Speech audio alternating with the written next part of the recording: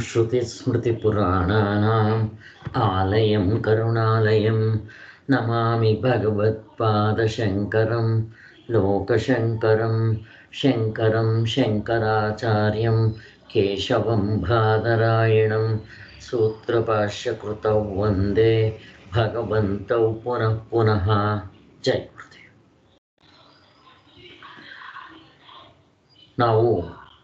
ದೇವರು ಮತ್ತು ಗುರುಗಳ ಒಂದು ಕರುಣಾ ಕಟಾಕ್ಷದಿಂದ ಭಗವದ್ಗೀತೆ ಉಪನ್ಯಾಸಗಳನ್ನ ನೋಡ್ತಾ ಇದ್ದೀವಿ. ಅದರಲ್ಲಿ ಭಗವದ್ಗೀತೆ ಐದನೇ ಅಧ್ಯಾಯದಲ್ಲಿ ನಿನ್ನೆ ಹದಿನೆಂಟನೇ ಶ್ಲೋಕದವರೆಗೂ ಬಂದಿದ್ವಿ. ವಿದ್ಯಾ ವಿನಯ ಸಂಪನ್ನೆ ಬ್ರಾಹ್ಮಣೇ ಗವಿಹಸ್ತಿನಿ ಅಂತ ಆ ಶ್ಲೋಕ ನೋಡ್ತಾ ಇದ್ವಿ. ಮುಕ್ತನಾದವನು ಬ್ರಾಹ್ಮಣನನ್ನು ಗೋವು ಆನೆ, ನಾಯಿ, ಚಾಂಡಾಲ, ಕತ್ತೆ, ಹಂದಿ ಎಲ್ಲವನ್ನು ಒಂದೇ ರೀತಿ ನೋಡ್ತಾನೆ ಅನ್ನೋದನ್ನ ವಿಚಾರ ಚಿಂತನೆ ಮಾಡಿದ್ವಿ. ಹೇಗೆ ಸಾಧ್ಯ ಅದು? ಎಲ್ಲರನ್ನು ಒಂದೇ ಥರ ನೋಡೋದಕ್ಕೆ ಹೇಗಾಗುತ್ತೆ ಅಂತ. ಇಲ್ಲಿ ಅವರು ಹೇಳ್ತಾ ಇರೋದು ವ್ಯವಹಾರದ ದೃಷ್ಟಿಯಿಂದ ಅಲ್ಲ, ಪಾರಮಾರ್ಥಿಕ ದೃಷ್ಟಿಯಿಂದ. ವ್ಯವಹಾರದ ದೃಷ್ಟಿಯಿಂದ, ಉಪಾಧಿಗಳ ದೃಷ್ಟಿಯಿಂದ ಬೇರೆ ಬೇರೆ ಇರುತ್ತೆ. ಒಂದು ತಮೋಗುಣದ ಪ್ರಾಣಿ, ಒಂದು ರಜೋಗುಣದ ಪ್ರಾಣಿ. ರಜೋಗುಣ ತಮೋಗುಣ ಪ್ರಾಣಿಗಳು ಅಂತ ಅಲ್ಲ ಮನುಷ್ಯರಲ್ಲೂ ಕೂಡ ತಮೋಗುಣ ರಜೋಗುಣ ಸತ್ವಗುಣ ಇದ್ದೇ ಇರ್ತಾರೆ, ಮುಕ್ತರಾದವರು. ಇಷ್ಟು ವ್ಯತ್ಯಾಸ ಇದ್ದೇ ಇರುತ್ತೆ. ಆದ್ದರಿಂದ ನಾವು ಆ ತತ್ವದ ದೃಷ್ಟಿಯಿಂದ ನೋಡಿದಾಗ ಎಲ್ಲರಲ್ಲೂ ಅದೇ ಆತ್ಮ ಪರಮಾತ್ಮನು ಇದ್ದಾನೆ ಅನ್ನೋ ದೃಷ್ಟಿ, ಪಾರಮಾರ್ಥಿಕ ದೃಷ್ಟಿ. ವ್ಯವಹಾರದಲ್ಲಿ ವ್ಯವಹಾರ ಮಾಡುವಾಗ ನಾವು ಅವರವ್ರಿಗೆ ತಕ್ಕಂತೆ ನಾವು ಸ್ಥಾನ ಸ್ಥಾನಮಾನಗಳನ್ನ ಕೊಡಬೇಕಾಗತ್ತೆ. ಈಗ ಒಬ್ಬ ರಾಜ ಮತ್ತೆ ಒಂದು ನಾಯಿ ಇಬ್ರು ಬಂದ್ರೆ ರಾಜನ ಸಿಂಹಾಸನ ಮೇಲೆ ಕೊಂಡಿರಿಸ್ತೀವಿ. ನಾಯಿನ ಹೊರಗಡೆ ಬಿಡ್ತೀವಿ. ಅದು ಬಿಟ್ಟಿದ್ದೆ ನಾಯಿನ ಕರ್ಕೊಂಡೋಗಿ ಎರಡರಲ್ಲೂ ಪರಮಾತ್ಮನು ಒಂದೇ ಇದ್ದಾನೆ ಅಂತ ಹೇಳಿ ನಾಯಿನ ಕರ್ಕೊಂಡೋಗಿ ಸಿಂಹಾಸನ ಮೇಲೆ ಕುಂಡ್ರಿಸಿ ರಾಜನ್ನ ಹೊರಗಡೆ ಬೀದಿ ಕಾಯಕ್ ಬಿಡ್ತೀವೇನೋ? ಬಿಟ್ರೆ ಹಾಗಾಗುತ್ತಾ ಅದು ವ್ಯವಹಾರ ದೃಷ್ಟಿಯಿಂದ ಅದು ಹೊಂದೋದಿಲ್ಲ ಅನ್ನೋದನ್ನ ನಾವು ನೋಡಿದ್ವಿ. ಮತ್ತೆ ಸಮದರ್ಶನದ ಫಲ. ಬ್ರಹ್ಮಜ್ಞಾನಿ ಆಗಿದ್ದವನಿಗೆ ಎಲ್ಲವೂ ಸಮದೃಷ್ಟಿಯಿಂದ ನೋಡ್ತಾನೆ ಅಂತ ಹೇಳಿದ್ದು ಕೂಡ ಪಾರಮಾರ್ಥಿಕ ದೃಷ್ಟಿಯಿಂದ.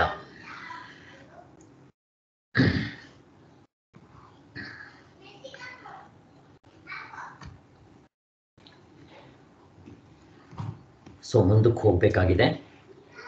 ನಾವು ಅವರಂತೆಯೇ ಬ್ರಹ್ಮದಲ್ಲೇ ಇರುತ್ತೇವೆ. ಈಗ ತಿಳ್, ಬ್ರಹ್ಮಜ್ಞಾನಿಗಳು ತಿಳ್ಕೊಂಡಿರ್ತಾರೆ. ನಾವು ತಿಳ್ಕೊಂಡಿರೋದಿಲ್ಲ. ಇಬ್ಬರಿಗೂ ವ್ಯತ್ಯಾಸ ಏನು? ಅಷ್ಟೇ ವ್ಯತ್ಯಾಸ. ಅವ್ರಿಗೂ ಆತ್ಮಸ್ವರೂಪನೇ ಹಿಂತಡಿಕೆ ಆಗಿರೋದು. ನಮಗೂ ಆತ್ಮಸ್ವರೂಪವೇ ಹಿಂತಡಿಕೆ ಆಗಿರೋದು. ಅವರು ತಿಳ್ಕೊಂಡ್ರೆ ಲಾಭ ತಿಳ್ಕೊಳ್ಳದೆ ಇದ್ದರೆ ನಷ್ಟ. ಇಷ್ಟೇ ವ್ಯತ್ಯಾಸ. ಈಗ ಈಗ ಕೆ ಜಿ ಎಫ್ ಚಿನ್ನದ ಗಣಿ ಮೇಲೆ ಓಡಾಡ್ತಾ ಇತ್ತು. ಅವ್ರಿಗೆ ಗೊತ್ತಿಲ್ಲ ಅದು ಚಿನ್ನದ ಗಣಿ ಅಂತ. ಆದರೆ ಯಾರು ಗೊತ್ ಗೊತ್ತಾದ ಮೇಲೆ ಅದನ್ನು ತಗೊಂಡು ಉಪಯೋಗಿಸ್ಕೊಳಕ್ ಶುರು ಮಾಡಿದ್ರು. ಇಷ್ಟೇ ವ್ಯತ್ಯಾಸ. ನಾವು ಆತ್ಮಸ್ವರೂಪರಾಗಿರ್ತೀವಿ. ಯಾರದನ್ನು ತಿಳ್ಕೊಂಡು ಉಪಯೋಗಿಸ್ಕೊಂತಾರೋ ಅವರಿಗೆ ಹೆಚ್ಚಿನ ಲಾಭ ಆಗುತ್ತೆ ಅಂತ.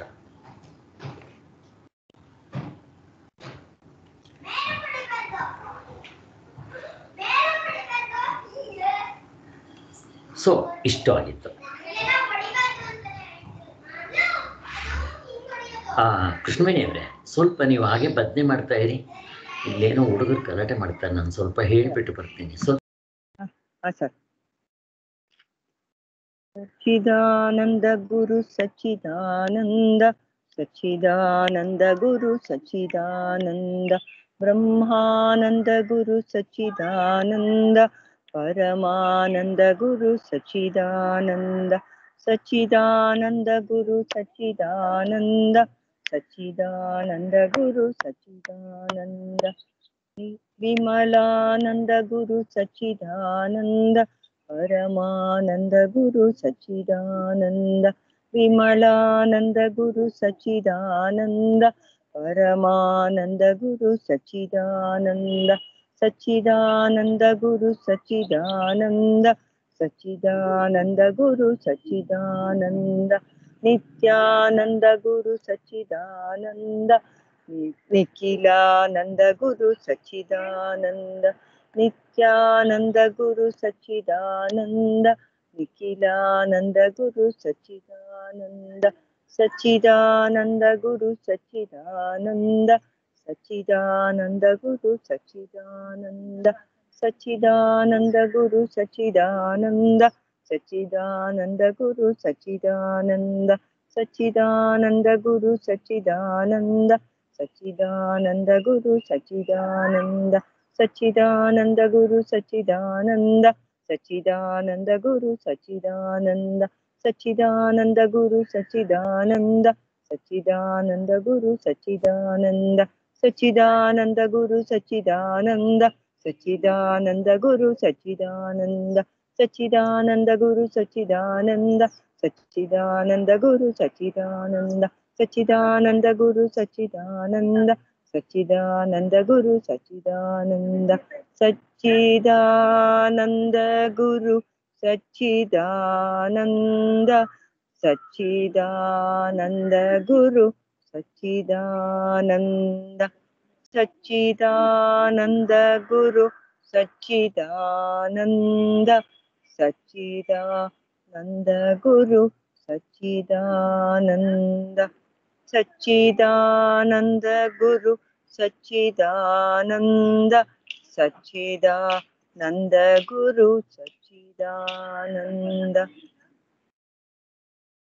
శ్రీరామ్ జయ రామ్ జయ జయ రామ్ శ్రీరామ్ జయ రామ్ జయ జయ రామ్ శ్రీరామ జయ రామ जय जय राम, ओम श्री राम, जय राम, जय जय राम, श्री राम, जय राम, जय जय राम, ओम श्री राम, जय राम, जय जय राम, श्री राम, जय राम, जय जय राम।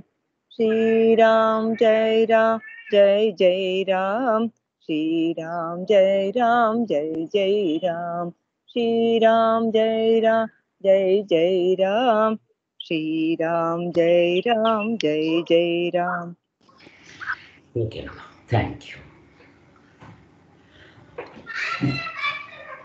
ನಮಗೂ ಅವ್ರಿಗೂ ವ್ಯತ್ಯಾಸ ಬ್ರಹ್ಮಜ್ಞಾನಿಗಳು ಆ ತತ್ವದಲ್ಲಿ ತಿನ್ ನಿಂತು ಆ ಆನಂದವನ್ನು ಅನುಭವಿಸ್ತಾರೆ. ಜ್ಞಾನಿಗಳು ನಾವು ಆ ತತ್ವವನ್ನು ತಿಳ್ಕೊಂಡು ಆನಂದವನ್ನು ಅನುಭವಿಸೋದಕ್ಕೆ ಪ್ರಯತ್ನ ಮಾಡಬೇಕು. ಇದೇನು ನಮಗೂ ಇಲ್ಲ. ನಿತ್ಯ ಅನುಭವದಲ್ಲಿ ನಾವೆಲ್ಲರೂ ಕಂಡುಕೊಂಡಿದ್ದೀವಿ, ಆನಂದವಾಗಿರೋದು. ಸೊ ಆದ್ದರಿಂದ ಸೊ ಸ್ವಾಮಿಗಳು ಇದಕ್ಕೆ ಹಾಯ್.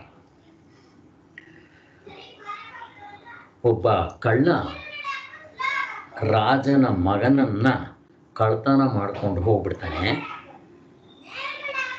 ಅವನ್ನ ಪ್ರತಿದಿನ ಕರ್ಕೊಂಡ್ಬಂದು ಅರಮನೆಯಲ್ಲಿ ಓಡಾಡಿಸ್ತಾ ಇರ್ತಾನೆ, ಕಣ್ಣಿಗೆ ಬಟ್ಟೆ ಕಟ್ಬಿಟ್ಟು. ಅವನು ದೊಡ್ಡವನಾಗೋವರೆಗೂ ಮಾಡ್ತಾನೆ. ಅವನು ಅರಮನೆಯಲ್ಲೇ ಇದ್ದ ಅನ್ನೋದು, ಅರಮನೆಯಲ್ಲೇ ಓಡಾಡ್ತಾ ಇದ್ದೆ ಅನ್ನೋದು ರಾಜನ ಮಗನಿಗೆ ಗೊತ್ತಾಗುತ್ತಾ? ಗೊತ್ತಾಗೋದಿಲ್ಲ. ಹಾಗೆ ನಮಗೆ ಪ್ರತಿದಿನ ನಿದ್ದೆಯಲ್ಲಿ ಆನಂದ ಸ್ವರೂಪವೇ ನಾವು ಆಗಿದ್ರು ಅದರಲ್ಲಿ ನಾವು ಅನುಭವಿಸೋದಕ್ಕೆ ಬರೋದಿಲ್ಲ. ಪ್ರತಿದಿನ ನಿದ್ದೆಯಲ್ಲೇ ಇರ್ತೀವಿ. ಅಲ್ಲಿ ನಮ್ಗೆ ತಿಳ್ಕೊಳ್ಳೋಕೆ ಬರಲ್ಲ. ಕಣ್ಣಿಗೆ ಬಟ್ಟೆ ಕಟ್ಟಿರ್ತಾರೆ ಅಂತ. ಹಾಗೆ. ಸೊ ಅವರಿಗೆ ಎಚ್ಚರದಲ್ಲಿದ್ದಾಗಲೂ ಕೂಡ, ವ್ಯವಹಾರ ಮಾಡ್ತಾ ಇದ್ದಾಗಲೂ ಕೂಡ, ನಿಜವಾದ ತಮ್ಮ ಸ್ವರೂಪ ಬ್ರಹ್ಮ ಸ್ವರೂಪವೇ ಅನ್ನೋದು ಸ್ಪಷ್ಟವಾಗಿ ಗೊತ್ತಾಗಿರುತ್ತೆ. ಇಷ್ಟೇ ವ್ಯತ್ಯಾಸ. ಯಾವಾಗ ಅವರು ಬ್ರಹ್ಮದಲ್ಲಿ ನಿಂತಿರ್ತಾರೋ, ಅವರಿಗೆ ಈಗ ನಮಗೆ ಯಾರು ನೀವು ಅಂತಂದರೆ ನಾ ಸ್ವಾಮಿ, ಈ ಶರೀರ ಅಂತೀವಿ. ಯಾರು ಹೇಳ್ಕೊಡ್ತಾರೆ ಇದನ್ನು? ಎಷ್ಟು ಸತ್ಯವಾಗಿರ್ತೀವಿ ನಾವು. ಹಾಗೆ ಅವರಿಗೆ ಆತ್ಮಸ್ವರೂಪವೇ ನನ್ನ ನಿಜವಾದ ಸ್ವರೂಪ ಅಂತ ಸ್ಪಷ್ಟವಾದ ಅನುಭವ ಬಂದಿರುತ್ತೆ. ಹೀಗೆ ಬ್ರಹ್ಮದಲ್ಲಿ ನೆಲೆ ನಿಂತಿರೋದ್ರಿಂದ ಅವ್ರಿಗೆ ಪ್ರಿಯವಾದದ್ದನ್ನು ಪಡಿಬೇಕು, ಅಪ್ರಿಯವಾದದ್ದನ್ನು ದೂರ ಮಾಡ್ಕೋಬೇಕು ಅನ್ನೋ ಭೇದ ಭಾವನೆ ಇರೋದಿಲ್ಲ ಅವರಿಗೆ. ಅದು ಜ್ಞಾನಿಗಳಿಗೆ ಎರಡನ್ನೂ ಸಮವಾಗಿ ನೋಡ್ತಾರೆ. ಅದನ್ನೇ ಹೇಳಿದ್ದು ಅಂತ ಹೇಳಿದ್ದು. ಅವರ ದೃಷ್ಟಿಯಲ್ಲಿ ಪ್ರಿಯ, ಅಪ್ರಿಯ ಇರೋದಿಲ್ಲ. ಕೆಟ್ಟದ್ದು ಒಳ್ಳೆಯದು ಇರೋದಿಲ್ಲ. ಅವರ ಮನಸ್ಸು ಏರುಪೇರು ಆಗೋದಿಲ್ಲ. ಒಂದೇ ಸಮವಾಗಿರುತ್ತೆ. ಮನಸ್ಸು ಪ್ರಿಯ ಅಪ್ರಿಯಗಳಿಂದ ಸ್ಥೈರ್ಯವನ್ನು ಕಳೆದುಕೊಳ್ಳುವುದು, ಏನೂ ತೋಚದೆ ಮಂಕಾಗುವುದು ವಿಷಯಾಸಕ್ತರಾದ ಅನಾತ್ಮಜ್ಞರ ಪಾಲಿಗೆ ಸೇರಿತ್ತು ಜ್ಞಾನಿಯಾದವನ ಮನಸ್ಸು ಹೊರಗಿನ ವಿಷಯಗಳಲ್ಲಿ ಯಾವ ಆಸಕ್ತಿಯನ್ನು ಇಟ್ಕೊಂಡಿರೋದಿಲ್ಲ ನಮಗೆ ಈ ಕಾಮಕಾಂಚನ ಅಂತ ರಾಮಕೃಷ್ಣ ಪರಮಹಂಸರು ಹೇಳ್ತಾರೆ. ಈ ಹೆಣ್ಣು ಹೊನ್ನು ಮಣ್ಣು ಮೂರತ್ತು ನಮ್ಗೆ ಅದರಲ್ಲೇ ಮನಸ್ಸು ಓಡಾಡ್ತಾ ಇರುತ್ತೆ ಓಡಾಡ್ತಾ ಇರುತ್ತೆ. ಆದರೆ ಬ್ರಹ್ಮಜ್ಞಾನಿಗಳಿಗೆ ಅದು ಇರೋದಿಲ್ಲ. ಯಾಕೆ? ಒಳಗಡೆ ಆನಂದದ ಗಣಿ ಸಿಕ್ಕಿರುತ್ತವರಿಗೆ ಇಲ್ಲಿ ಹೆಣ್ಣು ಹೊನ್ನು ಮಣ್ಣುನಲ್ಲಿ ಸಿಗೋ ಸುಖ ತಾತ್ಕಾಲಿಕ. ಕ್ಷಣಿಕ ಕಿಂಚಿತ್ ತ, ಅದು. ಅಲ್ಲಿ ಅವ್ರಿಗೆ ಸಿಗೋ ಆನಂದ ಶಾಶ್ವತವಾದ್ದು ಮತ್ತೆ ಹಂಡ್ರೆಡ್ ಪರ್ಸೆಂಟ್ ಆನಂದ ಅದು. ಬಿಟ್ಟು ಹೋಗೋದಿಲ್ಲ. ಇದು ನಮಗೆ ಕಡಿಮೆ ಆಗ್ತಾ ಇರುತ್ತೆ. ಅವ್ರಿಗೆ ಹಂಗಿಲ್ಲ. ಅಂಥ ಆನಂದ ಯಾರಿಗೆ ಬೇಡ. ಅದನ್ನು ಯಾರಾದರೂ ಕೊಡ್ತಾರಾ ಈಸ್ಕೊಳಕ್ಕೆ ಬರುತ್ತಾ? ಬಿಲ್ಟಿನ್ ಅಂತ ಹೇಳ್ತಾರೆ. ಅವ್ರಿಗೆ ಮನಸ್ಸು ಹೊರಗಡೆಗೆ ಹೋಗೋದಿಲ್ಲ. ಹೊರಗಡೆಗೆ ಹೋಗ್ಬೇಕಾದ್ರೆ ಏನಿರಬೇಕು? ಹೊರಗಡೆ ವಸ್ತುಗಳಲ್ಲಿ ಆಸೆ ಇರಬೇಕು, ಕಾಮ. ಅವು ಇರಬೇಕು. ಎಲ್ಲಿ ಯಾವ ವಸ್ತುಗಳು, ಮೂರೇ ವಸ್ತು ಇರೋದು ಪ್ರಪಂಚದಲ್ಲಿ? ಹೆಣ್ಣು, ಹೊನ್ನು, ಮಣ್ಣು. ಶಾಸ್ತ್ರದಲ್ಲಿ ಇದನ್ನ ಪುತ್ರ ಪುತ್ರೈಷ್ಠಿ ಪುತ್ರೈಷಣ, ಲೋಕೈಷಣ, ವಿತ್ತೈಷಣ ಅಂತ ಕರೀತಾರೆ. ಅಲ್ಲಿ ಪುತ್ರ ಅಂತಂದ್ರೆ ಹೆಂಡತಿ, ಪುತ್ರ, ಮಕ್ಕಳು ಎಲ್ಲರೂ ಅಲ್ಲಿ. ಇನ್ನ ವಿತ್ತಕ್ಷಣ ಅಂತಂದ್ರೆ ಮಣ್ಣು. ಪ್ರಪಂಚ, ಈ ಪ್ರಪಂಚ ಆಸ್ತಿ ಪಾಸ್ತಿ ಅಲೆಕ್ಸಾಂಡರ್ನು ಪ್ರಪಂಚವನ್ನು ದೊಡ್ಡದು ಮಾಡಬೇಕು. ಅವನ ಆಸ್ತಿನ ಅನ್ಕೊಂಡು ಮಾಡಿದ್ನಲ್ಲ, ಅದು ವಿತ್ತ. ಇನ್ನ ಲೋಕೈಷಣ, ನಾನು ಸತ್ ಮೇಲೆ ನನಗೆ ಸ್ವರ್ಗ ಬೇಕು, ಇದು ಕೂಡ ಒಂದು ಆಸೆಯೇ. ಬ್ರಹ್ಮಜ್ಞಾನಿ ಇದುಗಳನ್ನು ಬಿಟ್ಟಿರಬೇಕು, ಈ ಮೂರನ್ನು ಗೆದ್ದಿರಬೇಕು ಅಂತ. ಹಾಗೆ ಇವುಗಳಲ್ಲಿ ನಮ್ಗೆ ಆಸಕ್ತಿ ಇರುತ್ತೆ, ಅವ್ರಿಗೆ ಇರೋದಿಲ್ಲ. ಯಾಕೆ? ಅವ್ರಿಗೆ ಚಿನ್ನದ ಗಣಿ ಸಿಕ್ಕಿದ ಮೇಲೆ ಇತ್ತಾಳೆ ತಾಮ್ರಕ್ಕೆ ಆಸೆ ಪಡ್ತಾರೇನೋ ಅಂತ ಹಾಗೆ ತಗೋಬೇಕು. ಅದರಿಂದ ಅವ್ರಿಗೆ ಮನಸ್ಸು ಹೊರಗಡೆ ಹೋಗದೇ ಇಲ್ಲ.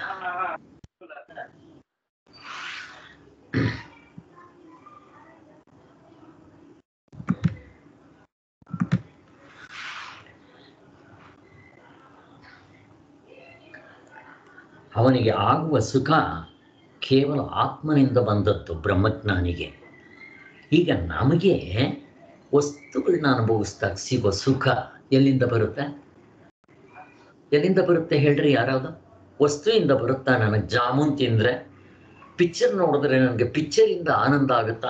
ಯಾರಾದರೂ ಹೇಳಿ, ಎಲ್ಲಿಂದ ಬರುತ್ತೆ ನನಗೆ ಆನಂದ? ಜಾಮೂನ್ ತಿಂದ್ರೆ ಸುಖ. ಕಾಫಿ ಕುಡಿದ್ರೆ ಸುಖ ಪಿಕ್ಚರ್ ನೋಡಿದ್ರೆ ಸುಖ ಟ್ರಿಪ್ಗಳಿಗೆ ಹೋದ್ರೆ ಸುಖ. ಎಲ್ಲಿಂದ ಸಿಗುತ್ತೆ? ಎಲ್ಲಿಂದ ಬರುತ್ತದು? ಅದು ಆತ್ಮನ ಆನಂದನೇ ಸರ್. ಹಾಗೆ ವಸ್ತುಗಳಲ್ಲಿ ಇಲ್ಲ. ಯಾಕೆ? ನೀವಿಲ್ಲ ಅಂತೀರ ವಸ್ತುನಲ್ಲಿ ಒಳಗಡೆಯಿಂದ ಬರ್ತಾ ಇದೆ ಅಂದ್ರೆ ಮತ್ತೆ ನಾನು ಆ ಪಿಕ್ಚರ್ ನೋಡಿದ್ರೆ ನನಗೆ ಆನಂದ ಸಿಗುತ್ತಲ್ಲ? ಮತ್ತೆ ಯಾಕಿಲ್ಲ ಅಂತ ಹೇಳ್ತೀರಾ? ಯಾಕಿಲ್ಲ ಅಂತ ಹೇಳ್ತೀರಾ? ವಸ್ತುವಿಂದ ಸಿಗ್ತಾ ಇದೆ ಅಂತ ನಾನು ಹೇಳ್ತೀನಿ. ವಸ್ತು ಮೇಲೆ ಮಾರು ಹೊಡೆದು ವಸ್ತುವಿಂದ ಅಂತ ಅನಿಸ್ತಾ ಇರುತ್ತೆ ನಮ್ಗೆ ಆದ್ರೆ ಅದು.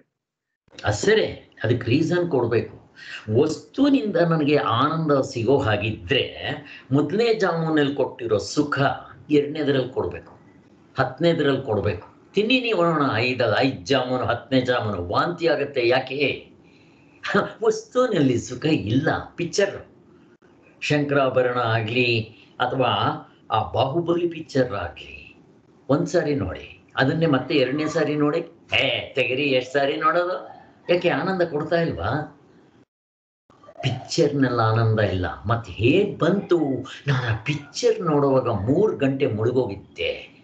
ನನಗೆ ಅರ್ಧ ಗಂಟೆ ಥರ ಕಳೆದು ಹೋಯಿತು. ಅದರಿಂದ ನನಗೆ ಆನಂದ ಇದ್ದಂಗಿತ್ತು. ಹಾಗೆ ಅದು ಎಲ್ಲಿಂದ ಬರ್ತಾ ಇದೆ? ಒಳಗಡೆಯಿಂದ ಬರ್ತಾ ಇದೆ. ಇಲ್ಲಿ ನಾವು ತಿಳ್ಕೋಬೇಕಾಗಿರೋದು ವಸ್ತು ಇಲ್ಲದೆ ಅದೇ ಆನಂದವನ್ನ ಟ್ಯಾಪ್ ಮಾಡ್ಕೊಳ್ಳೋಕೆ ಬರುತ್ತಾ? ಇದು ನಮ್ಮ ಋಷಿ ಮುನಿಗಳು ಕಂಡಿಡ್ತಿದ್ದು ಬರುತ್ತೆ. ಅಂತ ತೋರಿಸಿ, ನಿದ್ದೆಯಲ್ಲಿ ಯಾವ ವಸ್ತುನೇ ಇಲ್ಲವೇ, ಹೆಣ್ಣು, ಹೊಣ್ಣು, ಮಣ್ಣು ಯಾವುದಿದೆಯಪ್ಪ? ಆನಂದವಾಗಿ ಇರ್ತೀವ ಇಲ್ಲೋ? ಮತ್ತೆ ಅಂಥ ಆನಂದನ ಎಚ್ಚರದಲ್ಲಿ ಪಡೆದ್ರೆ ಅವಾಗ ಬೇಕಾಗಿಲ್ಲ. ನೋಡ್ರಿ, ಕೋರ್ಟು, ಪೊಲೀಸು ಈ ಮೂರು ಕೇಸ್ ಬಿಟ್ಟರೆ ಅಲ್ಲಿ ಇನ್ನು ಬೇರೆ ಕೇಸ್ ಇರಲ್ಲ ನೋಡ್ರಿ. ಹೆಣ್ಣಿಗೋಸ್ಕರ ಜಗಳ, ಮಣ್ಣಿಗೋಸ್ಕರ ಜಗಳ, ಹೆಣ್ಣು ಹೊನ್ನು ಚಿನ್ನ, ಆಸ್ತಿ ಪಾಸ್ತಿ ಇಷ್ಟೇ.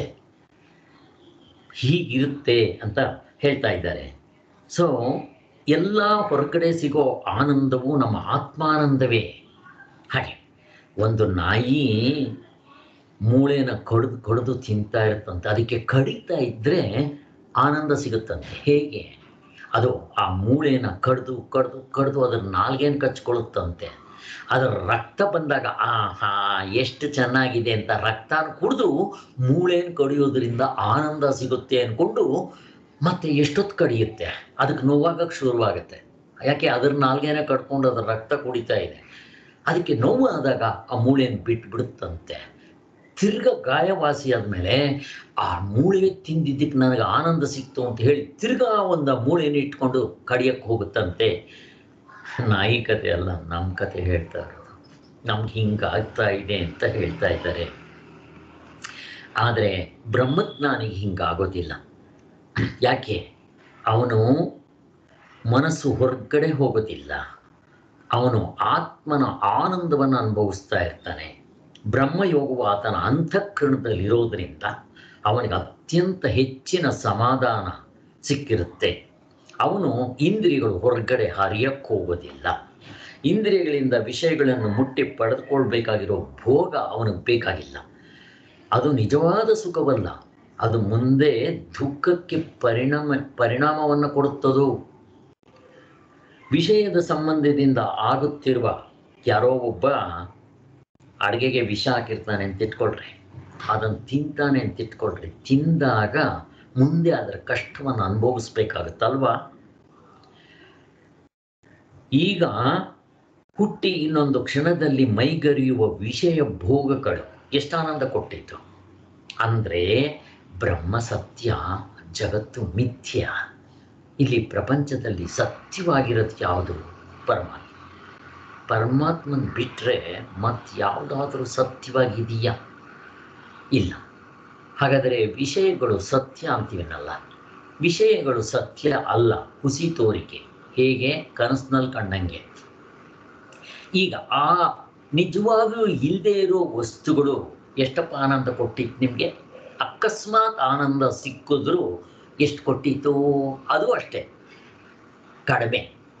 ಆದ್ದರಿಂದ ನಮಗೆ ವಿಷಯಗಳಲ್ಲಿ ಸಿಗೋ ಸುಖ, ಆನಂದ ಅತ್ಯಲ್ಪ. ಮತ್ತು ಅಶಾಶ್ವಿತ, ಶಾಶ್ವತ ಅಲ್ಲ. ಮತ್ತು ಅದು ಇಲ್ಲದಂಗೆ ಆಗ್ಬಿಡುತ್ತೆ ಅಂತ ನಾವು ವಿವೇಕದಿಂದ ಈ ವಿಚಾರಗಳು ಕೇಳಿ ಚೆನ್ನಾಗಿ ಮೇಲಕ್ಕೆ ಹಾಕಬೇಕು. ಮೇಲಕ್ಕೆ ಹಾಕಿದರೆ ನಮಗೆ ಲಾಭ ಏನು ಅಂದರೆ ಎಷ್ಟು ವರ್ಷಗಳಾದರೂ ಕೇಳ್ತಾ ಇರೋದಲ್ಲ. ಕೇಳಿದ್ದಕ್ಕೆ ನನಗೆ ಲಾಭ ಆಗಿದೆಯಾ? ಆದರೆ ನಮ್ಗೇನಾಗಬೇಕು ಅಂದರೆ ಪ್ರಪಂಚದಲ್ಲಿ ನಿರಾಸಕ್ತಿ ಬರಬೇಕು. ಪ್ರಪಂಚ ಇಷ್ಟೇ, ಇದ್ರ ಬಂಡವಾಳ ಇಷ್ಟೇ ಅಂತ ಗೊತ್ತಾಗಿ ಮೂರೊತ್ತು ರಾಮನಾಮ ಜಪ, ದೇವರ ಚಿಂತನೆ ಮಾಡೋದಕ್ಕೆ ನಾವು ಶುರು ಮಾಡಿಕೊಂಡ್ರೆ ನಮಗೆ ಪ್ರಪಂಚದಲ್ಲಿ ವೈರಾಗ್ಯ ಬಂದಿದೆ ಅಂತ. ಇಲ್ದಿದ್ರೆ ಎಷ್ಟು ಜನ್ಮಗಳು ಕೇಳಿದ್ರು ಹಿಂಗೆ. ಈ ಕಡೆ ಕಿವಿಲಿ ಕೇಳೋದು, ಈ ಕಡೆ ಬಿಟ್ಟು ಬಿಡೋದು ಹಂಗೆ ಉಪಯೋಗ ಇಲ್ಲ. ಆದರೂ ಕೇಳಿದಷ್ಟೊತ್ತು ಕೆಟ್ಟ ಯೋಚನೆಗಳು ಬಂದಿರಲ್ಲ. ಅಷ್ಟಂತೂ ಬೆನಿಫಿಟ್ ಆಗುತ್ತೆ. ಮತ್ ಮತ್ ಕೇಳಿ ಕೇಳಿ ಕೇಳಿ ಕೇಳಿ ನಮಗೆ ಲಾಭ ಇದೆ ಹೊರತು ನಷ್ಟ ಆಗೋದಿಲ್ಲ. ಆದರೆ ನಾವು ಹೆಚ್ಚಿನ ಲಾಭ ಪಡೆಯೋದಕ್ಕೆ ಏನು ಮಾಡಬೇಕು ಅನ್ನೋದು ಹೇಳ್ತಾ ಇದ್ದಾರೆ.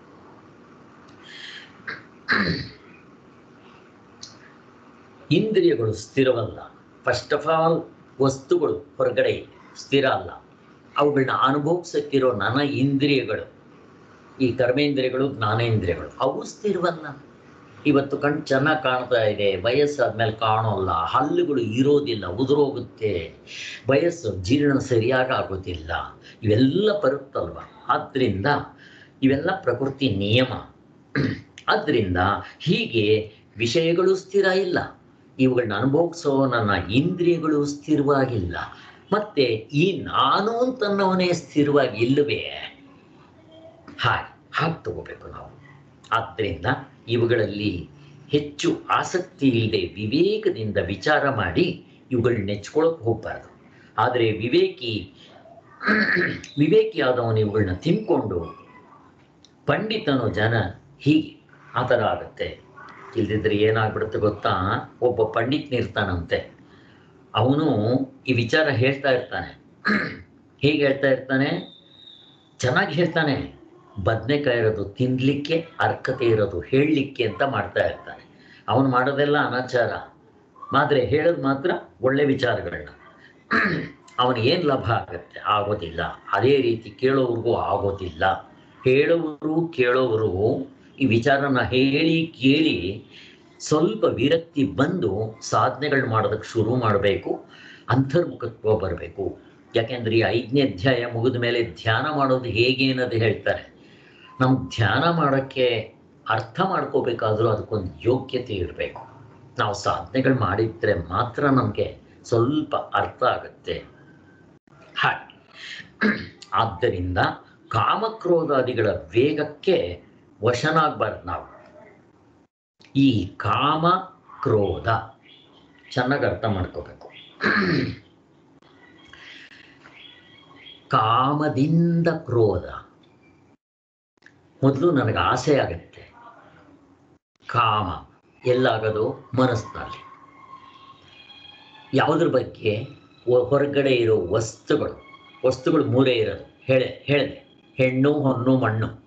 ಅವುಗಳ ವಿಚಾರವನ್ನು ನಾನು ಕಣ್ಣಲ್ಲಿ ನೋಡಿದ್ರೆ, ಕೇಳಿದ್ರೆ ಮನಸ್ಸಿನಲ್ಲಿ ಹಿಂದೆ ಅನುಭವಿಸಿದ್ದನ್ನು ನೆನೆಸ್ಕೊಂಡ್ರೆ ನಾನು ತಿರ್ಗಾ ಅನುಭವಿಸ್ಬೇಕು ಅಂತ ಆಸೆ ಆಗುತ್ತೆ. ಆಸೆ ಆದಾಗ ಏನು ಮಾಡುತ್ತೆ? ಕಾ ಆ ಕಾಮ. ಕಾಮ ಅಂದರೆ ಆಸೆ. ಅವುಗಳನ್ನ ಪಡೆಯೋದಕ್ಕೋಸ್ಕರ ನಾನು ಪ್ರಯತ್ನ ಮಾಡ್ತೀನಿ. ಸಿಕ್ಕಿದ್ರೆ ಅನುಭವಿಸೋದು. ತಿರ್ಗಾ ಅದರ ಸಂಸ್ಕಾರ ಆಗುತ್ತೆ. ತಿರ್ಗಾ ಮತ್ತೆ ಮತ್ತೆ ಅನುಭವಿಸ್ಬೇಕು ಅಂತ ಆಗುತ್ತೆ ಯಯಾತಿಕತೆ. ಸಿಗ್ಲಿಲ್ವಾ? ಕೋಪ ಬರುತ್ತೆ. ನನಗೆ ಸಿಗ್ಲಿಲ್ಲ ಅಂತ. ಕೋಪದಿಂದನೂ ಹಾಳಾಗೋಗ್ತೀವಿ. ಸಿಕ್ಕಿದ್ರೂ ಹಾಳಾಗೋಗ್ತೀವಿ. ಇದಿಷ್ಟು ನಮ್ಮ ಹಿಂದೆ ಬೇಕಾದಷ್ಟು ಚರ್ಚೆ ಮಾಡಿದೆ. ಚೆನ್ನಾಗಿ ಏನಾಗುತ್ತೆ ಏನಾಗುತ್ತಲ್ಲಿ? ಅದರ ವೇಗದಿಂದ ನನಗೆ ಆ ವಸ್ತು ಅನುಭವಿಸ್ಬೇಕು ಅನ್ನೋ ಆಸೆ ಆದಾಗ ಬೇಗ ಬೇಗ ಆ ಬೇಗ ಇದನ್ನು ಬೇಗ ಅಂತ ಹೇಳ್ತೀವಿ. ಮನಸ್ಸು ಅವಾಗ ಹಿಂಗಿರುತ್ತೆ. ಅನುಭವಿಸ್ಬಿಡ್ಬೇಕು ಅನುಭವಿಸ್ಬಿಡ್ಬೇಕು. ಹಣವನ್ನು ಏನಾದರೂ ಮಾಡಿ ಸಂಪಾದನೆ ಮಾಡಬೇಕು. ಮೋಸ ಆದರೂ ಸೇರೆ ಸುಳ್ಳಾದರೂ ಸೇರೆ, ಕೊಲೆ ಆದರೂ ಸೇರೆ, ದರೋಡೆ ಆದರೂ ಸೇರೆ ಕಳ್ತನ ಆದರೂ ಸೇರೆ. ಅಂತ ಅಂದ್ಬಿಡ, ಆಗ್ಬಿಡುತ್ತೆ. ಹೆಣ್ಣು ಹೊಣ್ಣು ಹೊಣ್ಣಿಗೆ ಈ ಮೂರಕ್ಕೆ ಈ ವಿಷ್ಟು ಚೇಂಜಸ್ ಆಗ್ತಾ ಇರುತ್ತೆ ಅಂತ ಹೇಳ್ತಾ ಇದ್ದಾರೆ. ಆವಾಗ ಈ ಕಾಮ ಅನ್ನೋದು ವೇಗ, ಎಲ್ಲಿ ವೇಗ ಇರುತ್ತೋ ಅದು ದುಃಖಕ್ಕೆ ಕರ್ಕೊಂಡು ಹೋಗುತ್ತೆ. ಹಿಂದೆ ನಾವು ಹ್ಯಾಪಿ ಅನಾಲಿಸಿಸ್ ಹೇಳಿದಾಗ ಜ್ಞಾಪಕ ಮಾಡ್ಕೊಳ್ಳಿ. ಹ್ಯಾಪಿ ಅಂತಂದರೆ ನೈದಾನ್ಯ ಸ್ಲೋ ಡೌನ್ ನಿಮ್ಮ ಮನಸ್ಸನ್ನ ನಿಧಾನ ಮಾಡಿ. ನಿಧಾನ ಮಾಡಿ. ಮತ್ತೆ ಫೋಕಸಿಂಗ್ ಇರಬಾರ್ದಲ್ಲಿ. ಒಂದು ನಿಧಾನ, ಸಂತೋಷ ಸಿಗಬೇಕಾದ ನಮ್ಮ ಮನಸ್ಸು ಯಾವಾಗಲೂ ಶಾಂತವಾಗಿರಬೇಕು, ನಿಧಾನವಾಗಿರಬೇಕು, ತಾಳ್ಮೆಯಿಂದ ಇರಬೇಕು. ಇದು ದುಃಖ ವೇಗ. ವೇಗ ಇರುತ್ತೆ. ಮನಸ್ಸು ಹಿಂಗೆ ಅಲ್ಲಾಡ್ತಾ ಇರುತ್ತೆ. ಯಾರಾದರೂ ಜಗಳ ಬಂದವರು ನೋಡ್ರಿ, ಅವ್ರ ಮನಸ್ಸು ಹೆಂಗಿರುತ್ತೆ ಅಂತ ಹೆಂಗಿರುತ್ತೆ? ವೇಗವಾಗಿರುತ್ತೆ. ಕೋಪ ಬಂದಾಗ, ಕೋಪ ಏನು? ನನಗಿಂತ ಬೇರೆ ಇರುತ್ತೆ. ಕೋಪ ನಾನು ಬೇರೆ, ಕೋಪ ಬೇರೆ. ಆ ಕೋಪ ಬಂದಾಗ ನಾನು ಕೋಪ ಒಂದಾಗ್ಬಿಡ್ತೀವಿ. ಆಗ ನಾನೇ ಕೋಪ ಆಗ್ಬಿಡ್ತೀನಿ. ಯಾವಾಗ ನಾನು ಕೋಪ ಆಗ್ಬಿಡ್ತೀನೋ, ನನ್ನನ್ನು ನಾನು ಮರ್ತೋಗ್ಬಿಡ್ತೀನಿ. ಆ ಕೋಪದಲ್ಲಿ ಏನು ಮಾಡ್ತೀನೋ ಗೊತ್ತಿಲ್ಲ. ಕೋಪದಲ್ಲಿ ಕುಯ್ಕೊಂಡ ಮೂಗು ಮತ್ತೆ ಬರೋದಿಲ್ಲ. ಕಾಮ ಕ್ರೋಧ, ಎರಡೂ ಅಷ್ಟೇ. ಕ್ರೋಧದಲ್ಲೂ ಹಾಗೆ, ಕಾಮದಲ್ಲೂ ಹಾಗೆ. ಕಾಮ ಇದ್ದಾಗ ಕಾಮವೂ ಅಷ್ಟೇ. ನಾನೇ ಕಾಮ, ನಾನೇ ಕಾಮಣ್ಣನಾಗ್ಬಿಡ್ತೀನಿ. ಯಾವಾಗ ಕಾಮಣ್ಣನಾಗ್ಬಿಡ್ತೀನೋ, ಆಗ ನನ್ನನ್ನು ನಾನು ಮರ್ತೋಗ್ಬಿಡ್ತೀನಿ. ಆ ಸಂದರ್ಭದಲ್ಲಿ ಏನು ಮಾಡ್ತೀವೋ ಗೊತ್ತಿಲ್ಲ ನಾವು. ಇದನ್ನು ಹೇಳ್ತಾ ಇದ್ದಾರೆ. ಸೊ ದುಃಖ ಆಗ್ಬಿಡುತ್ತೆ. ಅವಾಗ ಮನಸ್ಸು ವೇಗವಾಗಿರುತ್ತೆ. ಸೊ ದುಃಖ ಅಂತಂದ್ರೆ ಮನಸ್ಸಿನ ವೇಗ ಮತ್ತೆ ಫೋಕಸಿಂಗ್ ಫೋಕಸಿಂಗ್ ಅದನ್ನೇ ಚಿಂತನೆ ಮಾಡ್ತಾ ಇರೋದು. ಅವ್ರು ಹಂಗೆ ಅನ್ಬಿಟ್ರಲ್ವ ನನಗೆ? ಅವ್ರು ಅನ್ಬಿಟ್ರಲ್ವ ನನಗೆ ಹಂಗೆ ಅಂತ ಫೋಕಸಿಂಗ್ ದುಃಖಕ್ಕೆ ಇವೆರಡು, ಒಂದು ವೇಗವಾದ ಮನಸ್ಸು, ಇನ್ನೊಂದು ಅದನ್ನೇ ಕುರಿತು ಚಿಂತನೆ ಮಾಡೋದು. ಈಗ ನಮ್ಗೆ ಯಾವುದಾದ್ರೂ ಒಂದು ಕಾಯಿಲೆ ಇರುತ್ತೆ. ಆ ಕಾಯಿಲೆನೇ ಕುರಿತು ಚಿಂತನೆ ಮಾಡ್ತಾ ಇರೋದು. ಇದು ಫೋಕಸಿಂಗ್ ನಮ್ಗೇನೋ ಒಂದು ದುಃಖ ಇರುತ್ತೆ. ಯಾರೋ ಹತ್ತಿರದವ್ರು ಸತ್ತು ಹೋಗ್ತಾರೆ. ಮೂರತ್ತು ಅದನ್ನೇ ಚಿಂತನೆ ಮಾಡ್ತಾ ಇರೋದು. ಅದನ್ನೇನಂತೀವಿ? ದುಃಖ. ಅದೇನದು? ಕಾನ್ಸಂಟ್ರೇಷನ್ ಈ ಕಾನ್ಸಂಟ್ರೇಷನ್ ನಾವು ಜಪ ಮಾಡುವಾಗ ಯಾಕೆ ಬರಬಾರ್ದು? ಬರೋದಿಲ್ಲ. ಎಲ್ಲಿ ಬೇಕೋ ಅಲ್ಲಿ ಬರೋದಿಲ್ಲ. ನೀವು ಮರೀರಿ ನೋಡೋಣ. ಮರೆಯಕ್ಕೆ ಬರೋಲ್ಲ ಅದು. ಬಿಟ್ಟರೆ ನಿಂತರೆ ಎಲ್ಲ ಅದಕ್ಕೆ ನಿದ್ದೆ ಮಾತ್ರ ತಗೋಬೇಕು, ಮರಿಬೇಕಾದ್ರೆ. ಇಲ್ಲದ್ರೆ ನಿದ್ದೆ ಬರೋಲ್ಲ. ಈ ರಾಮಾಯಣಗಳಾಗತ್ತೆ. ಅಲ್ಲಿಗೆ ದುಃಖ ಅಂತಂದರೆ ಬೇಗ. ಎರಡನೇದು ಫೋಕಸಿಂಗ್ ಇವೆರಡನ್ನು ಬಿಟ್ಟರೆ ಆನಂದ. ಆನಂದ ಅಂದ್ರೆ ಏನು? ನೈಧಾನ್ಯ. ನಿಮ್ಮ ಮನಸ್ಸು ನಿಧಾನವಾಗಿರುತ್ತೆ, ಶಾಂತವಾಗಿರುತ್ತೆ. ಈ ಮನಸ್ಸು ಯಾವಾಗ ಆಗುತ್ತೆ ಶಾಂತವಾಗಿ?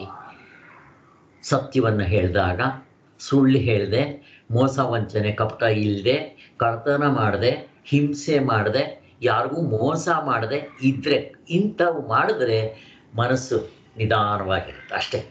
ಅಲ್ಲಿ ಫೋಕಸಿಂಗ್ ಇರಲ್ಲ. ಹಾಗೆ ಯಾರಾದರೂ ಅಂದರೂ ಕೂಡ, ಪಾಪ ಏನೋ ಗೊತ್ತಿಲ್ಲದೆ ಅಂತಾರೆ, ಬಿಡು, ಹಿಂಗೆ ಒದರ್ಕೊಂಡ್ಬಿಡ್ಬೇಕು. ಇವೆಲ್ಲ ಸಾಧನೆಯಿಂದ ಬರುತ್ತೆ, ಸುಮ್ ಸುಮ್ಮನೆ ಬರಲ್ಲ. ಅದಕ್ಕೋಸ್ಕರನೇ ಇವುಗಳನ್ನ ಹೇಳ್ತಾ ಇರೋದು.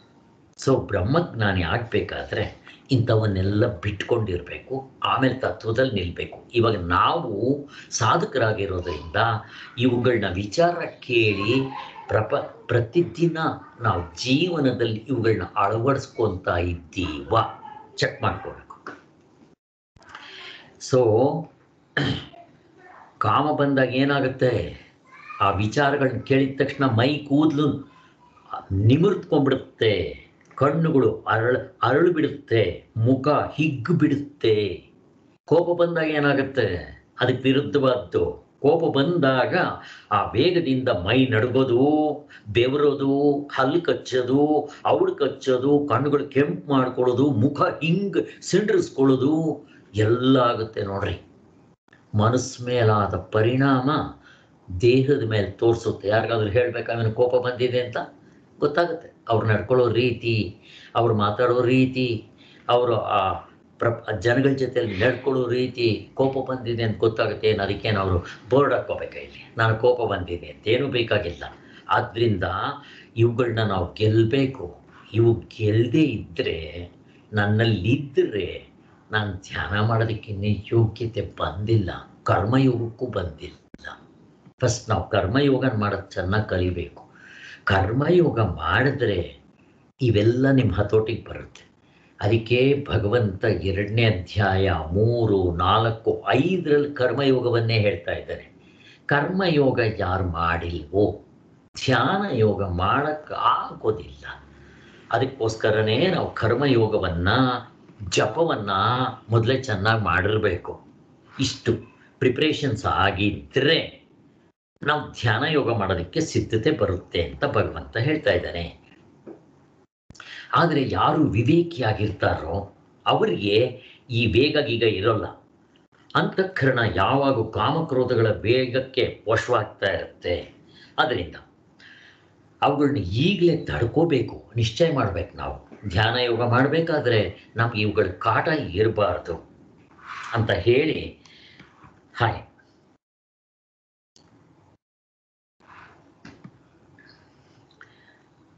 ಆದ್ದರಿಂದ ಇಂದಿನಿಂದ ಸಾಯುವವರೆಗೂ ಈ ಕಾಮಕ್ರೋಧ, ಕಾಮ ಅಂತಂದ್ರೆ ನೋಡ್ರಿ ಅದ್ರ ಬಾಲ ಇದೆ. ಕಾಮ, ಕ್ರೋಧ, ಲೋಭ, ಮೋಹ, ಮದ, ಮಾತ್ಸರ್ಯ, ಅದರ ಬಾಲಂಗೋಚ್ ಆರೆ ಅಂತ ತಿಳ್ಕೊಬೇಡಿ. ಒಂದೊಂದಕ್ಕೂ ಸಾವಿರ ಸಾವಿರ ಜನ ಮಕ್ಕಳು, ಮೊಮ್ಮಕ್ಕಳು ಎಲ್ಲ ಇರ್ತಾರೆ. ಮತ್ತು ಇವುಗಳನ್ನೆಲ್ಲ ಗೆಲ್ಲದು ಹೇಗೆ? ಅದರಿಂದ ಇದು, ಇವು ವೇಗ ಇದ್ದೇ ಇರುತ್ತೆ. ವಿವೇಕಿಯಾದವನು ನಿಶ್ಚಯ ಮಾಡಿಕೊಂಡು, ನನಗೆ ಪರಮಾತ್ಮನೇ ಬೇಕು, ನನಗೆ ಶಾಶ್ವತವಾಗಿರೋ ಆನಂದ ಬೇಕು ಅಂತ ಯಾರು ನಿಶ್ಚಯ ಮಾಡ್ಕೊತಾರೋ, ತಮ್ಮ ಜೀವನವನ್ನು ಅದಕ್ಕೆ ಮೀಸಲಾಗಿಟ್ಟು ಸಾಧನೆ ಮಾಡ್ತಾರೋ, ಅವರು ಇವುಗಳನ್ನ ತಡ್ಕೋಬೇಕಾಗತ್ತೆ. ಹಾಗೆ ನಿಜವಾಗಿ ಅಂಥವನೇ ಸುಖಿ, ಜ್ಞಾನಿ, ಕಾಮಕ್ರೋಧಗಳ ವೇನ ವೇಗವನ್ನು ಸಂಪೂರ್ಣವಾಗಿ ಜಯಿಸ್ಕೊಂಡಿರ್ತಾನೆ. ಅವನು ಎಲ್ರಿಗಿಂತಲೂ ಹೆಚ್ಚಿನ ಯೋಗಿ, ಮುಕ್ತರಾದವರ ವಿಚಾರ ಹೇಳ್ತಾ ಇರೋದು. ಮುಕ್ತರಾಗದೇ ಇದ್ದರೆ ನಾವು ಇವುಗಳನ್ನ ಹತೋಟಿಲಿ ಇಟ್ಕೋಬೇಕು. ಜ್ಞಾನಿಗೆ ಕಾಮಕ್ರೋಧಗಳು ವಶವಾಗಿರುತ್ತೆ. ಅವನು ಹೇಳ್ದಂಗೆ ಕೇಳುತ್ತೆ ಫಸ್ಟ್ ಆಫ್ ಆಲ್ ಅವನ ದೃಷ್ಟಿಯಲ್ಲಿ ಪ್ರಪಂಚ ಅನಿತ್ಯ. ಅವನಿಗೆ ಆತ್ಮಸತ್ಯ, ಬ್ರಹ್ಮಸತ್ಯ, ಜಗತ್ತು ಮಿಥ್ಯ ಅನ್ನೋದು ಅನುಭವ ಬಂದಿರುತ್ತೆ. ಆದ್ದರಿಂದ ನಮಗೂ ಅಷ್ಟೇ. ಇವಾಗ ಎಲ್ಲ ಸತ್ಯ ಅಂತ ಅನ್ಕೊಂಡು ನಾವು ವ್ಯವಹಾರ ಮಾಡ್ತಾ ಇರ್ತೀವಿ ಇವುಗಳನ್ನೆಲ್ಲ ಒಂದು ಸಲ ಎಚ್ಚರ ಆಯ್ತಪ್ಪ. ಅದು ಕನಸು ಅಂತ ಗೊತ್ತಾಯ್ತು. ಈಗ ಅದನ್ನು ಪಡೆಯೋದಿಕ್ಕೆ ಆಸೆ ಪಡ್ರಿ ನೋಡೋಣ. ಯಾಕೆ? ಏ, ಸುಳ್ಳು ಬಿಡಿ ಸ್ವಾಮಿ. ಹಾಗೆ ಬ್ರಹ್ಮಜ್ಞಾನಕ್ಕೆ ಈ ಪ್ರಪಂಚ ಅನಿತ್ಯ ಅಶಾಶ್ವಿತಂ ಅಂತ ಗೊತ್ತಿರುತ್ತೆ ಅವನಿಗೆ. ಅನುಭವದಿಂದ ಗೊತ್ತಿರುತ್ತೆ. ನಾವು ಏನು ಮಾಡಬೇಕು? ಇವುಗಳನ್ನ ಈ ವಿಷಯಗಳನ್ನ ಅವುಗಳಿಂದ ಬರೋ ಸುಖ ದುಃಖಗಳನ್ನ ಕಾಮಕ್ರೋಧಗಳನ್ನ ಆಗಮಾಪಾಯಿಗಳು ಬಂದು ಹೋಗುವಂಥದ್ದು ಅಂತ ಹೇಳಿ ತಡ್ಕೋಬೇಕು. ಹಿಂದೆ ಹೇಳಿದ್ರು ಎರಡನೇ ಅಧ್ಯಾಯದಲ್ಲಿ, ಹೇಗೆ ತಡ್ಕೋಬೇಕು? ಪ್ರಾಣಿಗಳು ತಡ್ಕೊಳುತ್ತೆ, ನಾಯಿನು ಹಂಗೆ ತಡ್ಕೋಬೇಕಾ? ಅಲ್ಲ, ವಿವೇಕದಿಂದ ತಡ್ಕೋಬೇಕು. ವಿವೇಕದಿಂದ ತಡ್ಕೊಂಡ್ರೆ ವೈರಾಗ್ಯ ಬರುತ್ತೆ. ವಿವೇಕ ವೈರಾಗ್ಯ. ಇವು ಸಾಧನೆಗಳನ್ನ ಮಾಡಿದ್ರೆ ಅಭ್ಯಾಸ. ಅಲ್ಲಿಗೆ ವಿವೇಕ, ವೈರಾಗ್ಯ, ಅಭ್ಯಾಸ ಮಾಡ್ತಾ ಇರಬೇಕು. ಎಲ್ಲಿವರೆಗೂ? ತತ್ವದಲ್ಲಿ ನಿಲ್ಲುವರೆಗೂ ನಿಂತ ಮೇಲೆ ಇನ್ನೇನು ಅಭ್ಯಾಸ ಮಾಡಬೇಕಾಗಿಲ್ಲ. ನೀವು ಎಲ್ಲಿವರೆಗೂ ಓದ್ತಾ ಇರಬೇಕು? ನಿಮ್ಮ ಎಕ್ಸಾಮ್ ಪಾಸ್ ಆಗೋವರೆಗೂ. ಒಂದು ಸಾರಿ ಪಾಸ್ ಆದಮೇಲೆ ತಿರ್ಗ ಓದಬೇಕೇನೋ? ಬೇಕಾಗಿಲ್ಲ ಅಂತ ಹೇಳ್ತಾರೆ. ಆದ್ದರಿಂದ ಜ್ಞಾನಿಗೆ ಕಾಮಕ್ರೋಧಗಳು ವಶವಾಗ್ಬಿಟ್ಟಿರುತ್ತೆ. ಅವನು ಅವುಗಳ ಅಡಿಯಾಳ ಆಗೋದಿಲ್ಲ ಅವನು ಹೇಳ್ದಂಗೆ ಅವನ ಇಂದ್ರಿಯಗಳು ಕೇಳುತ್ತೆ. ಅವನು ಹೇಳ್ದಂಗೆ ಅವನ ಮನಸ್ಸು ಕೇಳುತ್ತೆ. ಅವನು ಹೇಳ್ದಂಗೆ ತನ್ನ ಕರ್ಮೇಂದ್ರಿಯಗಳು ಕೇಳುತ್ತೆ. ಈಗ ನಾವು ಹೇಳ್ದಂಗೆ ಕೇಳ್ರಿ ನೋಡೋಣ. ಕೇಳೋದಿಲ್ಲ ಅವನು. ಯಾಕೆ? ಅವುಗಳು ಯಜಮಾನ ಆಗಿದೆ. ನಾವೇನಾಗಿದ್ದೀವಿ? ಸರ್ವೆಂಟ್ ಆಗಿದ್ದೀವಿ. ಬ್ರಹ್ಮಜ್ಞಾನಿಗೆ ಅವನು ಯಜಮಾನ ಆಗಿರ್ತಾನೆ ಇವು ಅವನ ಆಳ ಆಗಿರುತ್ತೆ ಅದಕ್ಕೆ ಅವನು ಹೇಳ್ದಂಗೆ ಕೇಳ್ತಾನೆ, ಏಯ್ ಸುಮ್ಮನೆ ಇರೋ. ಅಂದರೆ ಸುಮ್ಮನೆ ಇರುತ್ತವು. ನಾವು ಹೇಳಿದ್ರೆ ಕೇಳುತ್ತದೋ ನಡಿ, ಇವತ್ತು ಹೋಟ್ಲಿಗೆ ಹೋಗ್ಬೇಕು, ಇವತ್ತು ಟಿ ವಿ ನೋಡಬೇಕು ಪಿಕ್ಚರ್ ನೋಡಬೇಕು, ಆ ಟ್ರಿಪ್ಗೆ ಹೋಗ್ಬೇಕು, ಈ ಟ್ರಿಪ್ಪು ಹಿಂಗೆ ಓಡಿತಾ ಇರ್ತೀವಿ ಗಾಡಿ, ಅಲ್ವಾ? ಆದ್ದರಿಂದ ಅವುಗಳಿ ಅವುಗಳಿಂದ ತನ್ನ ಮನಸ್ಸಿಗೆ ವಿನೋದ ಉಂಟಾಯ್ತೆ ಅಂತ ತೋರೋದಿಲ್ಲ ಬ್ರಹ್ಮಜ್ಞಾನಿಗೆ ಹೊರಗಡೆ ಇರೋ ವಸ್ತುಗಳಿಂದ ಸುಖ ಸಿಗ್ಬೇಕಾಗಿಲ್ಲ. ಅವನಿಗೆ ಹೆಂಗ್ ಗೊತ್ತಾಗಿರುತ್ತೆ? ಸುಖವು ತನ್ನೊಳಗೆ ಇರುವ, ತನ್ನೊಳಗೆ ಇದೆ ಅಂತ ಗೊತ್ತಾಗಿರುತ್ತೆ. ಎಲ್ಲಿಂದ ಬರುತ್ತದೋ? ಆತ್ಮನಿಂದ. ಚೆನ್ನಾಗಿ ಮನದಟ್ಟಾಗಿರುತ್ತೆ, ಅನುಭವವಾಗಿರುತ್ತೆ. ಆದ್ದರಿಂದ ಅವನು ಆತ್ಮರತಿಯಾಗಿರ್ತಾನೆ. ನಾವು ಪ್ರಪಂಚದಲ್ಲಿರೋ ಹೆಣ್ಣು, ಹೊಣ್ಣು, ಮಣ್ಣುಗೆ ಆಸೆ ಪಡ್ತೀವಿ. ಅವನು ತನ್ನ ಒಳಗಡೆ ಇರೋ ಆತ್ಮನ ಆಸೆ ಪಡ್ತಾನೆ. ಪಟ್ಟಿದ್ದಾನೆ, ಅದನ್ನು ಪಡೆದಿದ್ದಾನೆ, ಆತ್ಮರತಿಯಾಗಿದ್ದಾನೆ. ಅವನು ಆತ್ಮಕ್ರೀಡನಾಗಿರ್ತಾನೆ. ಅದರಲ್ಲೇ ಕಾಲ ಕಳ್ಕೊಂಡಿರ್ತಾನೆ, ಆ ಸುಖವನ್ನು ಅನುಭವಿಸ್ತಾ ಇರ್ತಾನೆ. ಅವಾಗ ಅವನು ಹೊರಗಡೆ ವಸ್ತುಗಳ ಅಪೇಕ್ಷೆ ಇಲ್ಲ, ಬೇಕಾಗೋದಿಲ್ಲ ಅಂತ ಹೇಳ್ತಾರೆ. ಅವನು ವಿಷಯಗಳಂತೆ ಅಜ್ಞಾನದ ಕಗ್ಗತ್ತೆಯಲ್ಲಿ ಸಂಸಾರದ ಕಾಡಿನಲ್ಲಿ ಅಳೆಯುತ್ತೋ ಇರದ, ಅಲೆಯುವುದಿಲ್ಲ ಅವನು. ನಾವು ಅಜ್ಞಾನ ಅನ್ನೋ ಈ ಸಂಸಾರದಲ್ಲಿ ಹುಡುಕ್ತಾ ಇರಬೇಕು. ಸುಖ ಎಲ್ಲಿದೆ, ಅಲ್ಲಿದೆ, ಇಲ್ಲಿದೆ ಅಂತ. ಸಿಗೋದಿಲ್ಲ. ಈ ಜನ್ಮದಲ್ಲಲ್ಲ, ಇಲ್ಲಿವರೆಗೂ ನಮಗೆ ಕೋಟಿಯ ಕೋಟಿ ಜನ್ಮಗಳಾಗಿದೆ ಇನ್ನೂ ನಮಗೆ ಸಿಗಲಿಲ್ಲ ಅಂದರೆ ಹೆಂಡತಿ, ಮಕ್ಕಳು, ಮನೆ ಮಠ. ಹಿಂದಿನ ಜನ್ಮದಲ್ಲೂ ಇದೇ ರಾಮಾಯಣನೇ. ಈ ಜನ್ಮದಲ್ಲೂ ಇದೇ ರಾಮಾಯಣನೇ. ಮತ್ತು ನಾವು ಉದ್ಧಾರ ಆಗೋದು ಯಾವಾಗ? ಯಾರು ಮನಸ್ಸು ಮಾಡ್ತಾರೋ? ಅಷ್ಟೇ. ಒಂದು ನಾವು ಅರ್ಥ ಮಾಡ್ಕೋಬೇಕು. ಈ ಸಂಸಾರದಲ್ಲಿ ಸುಖ, ದುಃಖ, ಕಟ್ಟಿಟ್ಟ ಬುದ್ಧಿ, ಯಾರು ಸ್ವಲ್ಪ ಸೇರೋಗ್ಲಿ, ನಾನು ಆಮೇಲೆ ಸಾಧನೆ ಮಾಡ್ತೀನಿ, ಆಗೋದಿಲ್ಲ, ಅಪ್ರಾಣೆಗೂ ಆಗೋದಿಲ್ಲ. ಇಬ್ಬರು ಸ್ನಾನ ಮಾಡಕ್ಕೆ ಹೋಗ್ತಾರೆ, ಸಮುದ್ರಕ್ಕೆ, ಅಲೆಗಳು ಬರ್ತಾ ಇರುತ್ತೆ. ಒಬ್ಬ ಯೋಚನೆ ಮಾಡಿ ಇಬ್ಬರು ನೋಡ್ತಾರೆ, ಕಾಲು ಗಂಟೆ ನೋಡ್ತಾರೆ, ಅಲೆ ನಿಲ್ಲಲ್ಲ, ಇವರು ಸ್ನಾನ ಮಾಡೋದಿಲ್ಲ. ಒಬ್ಬ ಯೋಚನೆ ಮಾಡ್ತಾನೆ, ಓಹೋ ಇದು ನಿಲ್ಲೋದಲ್ಲಪ್ಪ, ಓ ಅಂತ ಅಲೆ ಆ ಕಡೆ ಸ್ವಲ್ಪ ಹೋದಾಗ ಹಂಗೆ ಮುಳುಗಿ ಸ್ನಾನ ಮಾಡ್ಕೊಂಡು ಬಂದ್ಬಿಡ್ತಾನೆ. ಒಬ್ಬನ ಕತೆ ಮುಗ್ದೋಯ್ತು. ಇನ್ನೊಬ್ಬ ನಿಲ್ಲಲಿ ಅಂತಾನೆ, ಅದು ನಿಲ್ಲಲ್ಲ, ಇವನ್ ಸ್ನಾನ ಮಾಡಲ್ಲ. ಯಾರು ನನ್ನ ಸಂಸಾರದಲ್ಲಿ ಇವಾಗ ಸ್ವಲ್ಪ ತಾಪತ್ರೆ ಇದೆ. ರೋಗ ರುಜುನುಗಳಿದೆ, ತಾಪತ್ರೆಗಳಿದೆ, ನನಗೆ ಚಿಂತೆ ಇದೆ ಅಂದರೆ ಮುಂದಕ್ಕೆ ಹೋಗದೇ ಇಲ್ಲ ಕಸದಲ್ಲಿ ರಸ ಮಾಡ್ಕೋಬೇಕು. ಜಂಗ್ ಮಾತಾಜಿ ಹೇಳ್ತಾರೆ, ಜಂಗಲ್ ಮೇ ಮಂಗಲ್ ಬನಾಯ. ಕಾಡನ್ನೇ ಅವನು ರಾಜ್ಯವನ್ನ ಮಾಡಬೇಕು. ಪಂಚಪಾಂಡವರಿಗೆ ಆ ಮರಳು ಕಾಡು ಕೊಟ್ರಂತೆ, ಅದನ್ನು ಸ್ವರ್ಗ ಮಾಡಿಬಿಡ್ತಾರೆ. ಅವರು ಆವಾಗಲೂ ದುರ್ಯೋಧನ ಹೊಟ್ಟೆ ಕಿಚ್ಚಿಂದ ಸಾಯ್ತಾನೆ. ಹಾಗೆ ನಾವು ನಮ್, ನಮಗೆ ನಮಗೆ ದೇವರು ಏನು ಕೊಡ್ತಾನೋ ಅದರಲ್ಲೇ ಆನಂದ ಪಟ್ಕೊಂಡು ಈ ದೇವರ ಸಾಧನೆ ಮಾಡ್ಕೊತ ತತ್ವದಲ್ಲಿ ಮುಟ್ಬಿಡ್ಬೇಕು. ಏನಾದರೂ ಮಾಡಿ. ಇದು ಬುದ್ಧಿವಂತನ ಲಕ್ಷಣ. ಹಣ ಸಂಪಾದನೆ ಮಾಡೋದು ಬುದ್ಧಿ ಅಲ್ಲ. ವಿದ್ಯೆ ಸಂಪಾದನೆ ಮಾಡೋದು ಬುದ್ಧಿ ಅಲ್ಲ. ಹೆಸರು ಗಳಿಸೋದು ಬುದ್ಧಿ ಅಲ್ಲ. ಈ ವಿದ್ಯೆ ಯಾರು ಸಿಗುತ್ತೋ, ಯಾರು ಸಾಧನೆ ಮಾಡ್ತಾರೋ ಅವನು ನಿಜವಾದ ಬುದ್ಧಿವಂತ ಅಂತ ತಿಳ್ಕೋಬೇಕು. ಎಂದೆಂದಿಗೂ ಎಲ್ಲೂ ಅವನು ಎಡಗೋದಿಲ್ಲ ಮುಗ್ಗರ್ಸೋದಿಲ್ಲ. ಬ್ರಹ್ಮ ನಿರ್ವಾಣ ಪಡೀತಾನವನು. ಈ ಕರ್ಮ ಅದಕ್ಕೋಸ್ಕರ ನಮ್ಗೆ ಹೇಳಿರೋದು ಸ್ಟೆಪ್ ಬೈ ಸ್ಟೆಪ್ ಹೇಳ್ಕೊಂಬಂದಿದ್ದಾರೆ ಕರ್ಮಯೋಗವೆಂಬ ಉಪಾಯದಿಂದ ಕ್ರಮ ಕ್ರಮವಾಗಿ ನಾವು ಕರ್ಮಯೋಗವನ್ನು ಪೂರ್ತಿ ಮಾಡಿದ್ರೆ ಸರ್ವಕರ್ಮ ಸನ್ಯಾಸವಾಗಬೇಕು. ಕರ್ಮಗಳೆಲ್ಲ ಬಿದ್ದು ಹೋಗಬೇಕು ಹೆಂಡತಿ ಮಕ್ಕಳನ್ನ ಬಿಟ್ಟು ಹೋಗಿ ಕಾಡ್ಗೆ ಹೋಗ್ಬೇಕು ಅಂತ ಹೇಳಲ್ಲ. ಇದ್ದುಕೊಳ್ಳಿ ಅಲ್ಲಿ ಇದ್ದರೂ ಅದ್ರ ಕಡೆ ಮನಸ್ಸು ಇರಬಾರ್ದು. ನಮ್ಮ ಕಾಯಿಲೆ ಕಡೆ ಇರಬಾರ್ದು. ನಮ್ಮ ಮಕ್ಕಳ ಕಡೆ ಇರಬಾರ್ದು. ನಮ್ಮ ಮೊಮ್ಮಕ್ಕಳ ಕಡೆ ಇರಬಾರ್ದು. ಪ್ರಪಂಚದ ಕಡೆ ಇರಬಾರ್ದು. ನನ್ನ ಆಸ್ತಿ ಪಾಸ್ತಿ ಕಡೆ ಇರಬಾರ್ದು. ಅದನ್ನು ಎಷ್ಟಾದರೂ ಚಿಂತನೆ ಮಾಡಿ ಅದರ ರಾಮಾಯಣ ಇರೋದೇ. ಒಂದಿನ ಸಾಯ್ತೀವಿ. ಹಿಂದಿನ ಜನ್ಮದ ಯಾವ್ದು ನೆನ್ಸ್ಕೊಂತೀವಿ ನಾವು? ಏನು ಬಿಡ್ರಪ್ಪ, ನೀವು ಮಲಕ್ಕೊಳ್ರಿ ನೆನ್ಸ್ಕೊಳ್ರಿ ನೋಡ. ನಿಮ್ಮ ಹೆಂಡತಿ ಮಕ್ಕಳು ನೆನ್ಸ್ಕೊಳ್ರಿ ನೋಡ. ಬೇಡಪ್ಪ ಕಾಣಿಸ್ಕೋಗ್ರಿ ಅಲ್ಲಿ ನೆನ್ಸ್ಕೊಳ್ರಿ ನೋಡ. ಇದೇ ಹೆಂಡತಿ ಮಕ್ಕಳು ಬರ್ತಾರ? ಬರೋದಿಲ್ಲ. ಮತ್ತೆ ಇಲ್ಲಿ ಎದ್ರೆ ಎಚ್ಚರದಲ್ಲಿ ಇನ್ನೊಂದು ಹನ್ನೆರಡು ಗಂಟೆ ಇದ್ದರೆ ಅಥವಾ ಎಂಟು ಗಂಟೆ ಇದ್ದರೆ ಇವುಗಳನ್ನೇ ಚಿಂತನೆ ಮಾಡ್ಕೊಂಡು ಕೂತ್ಕೊಂತೀನಲ್ಲ? ಮಾಡಬೇಕಾ ಅಂತ ನಾವು ಪ್ರಶ್ನೆ ಹಾಕ್ಕೋಬೇಕು. ನಮಗೆ ನಾವೇ ಇದು.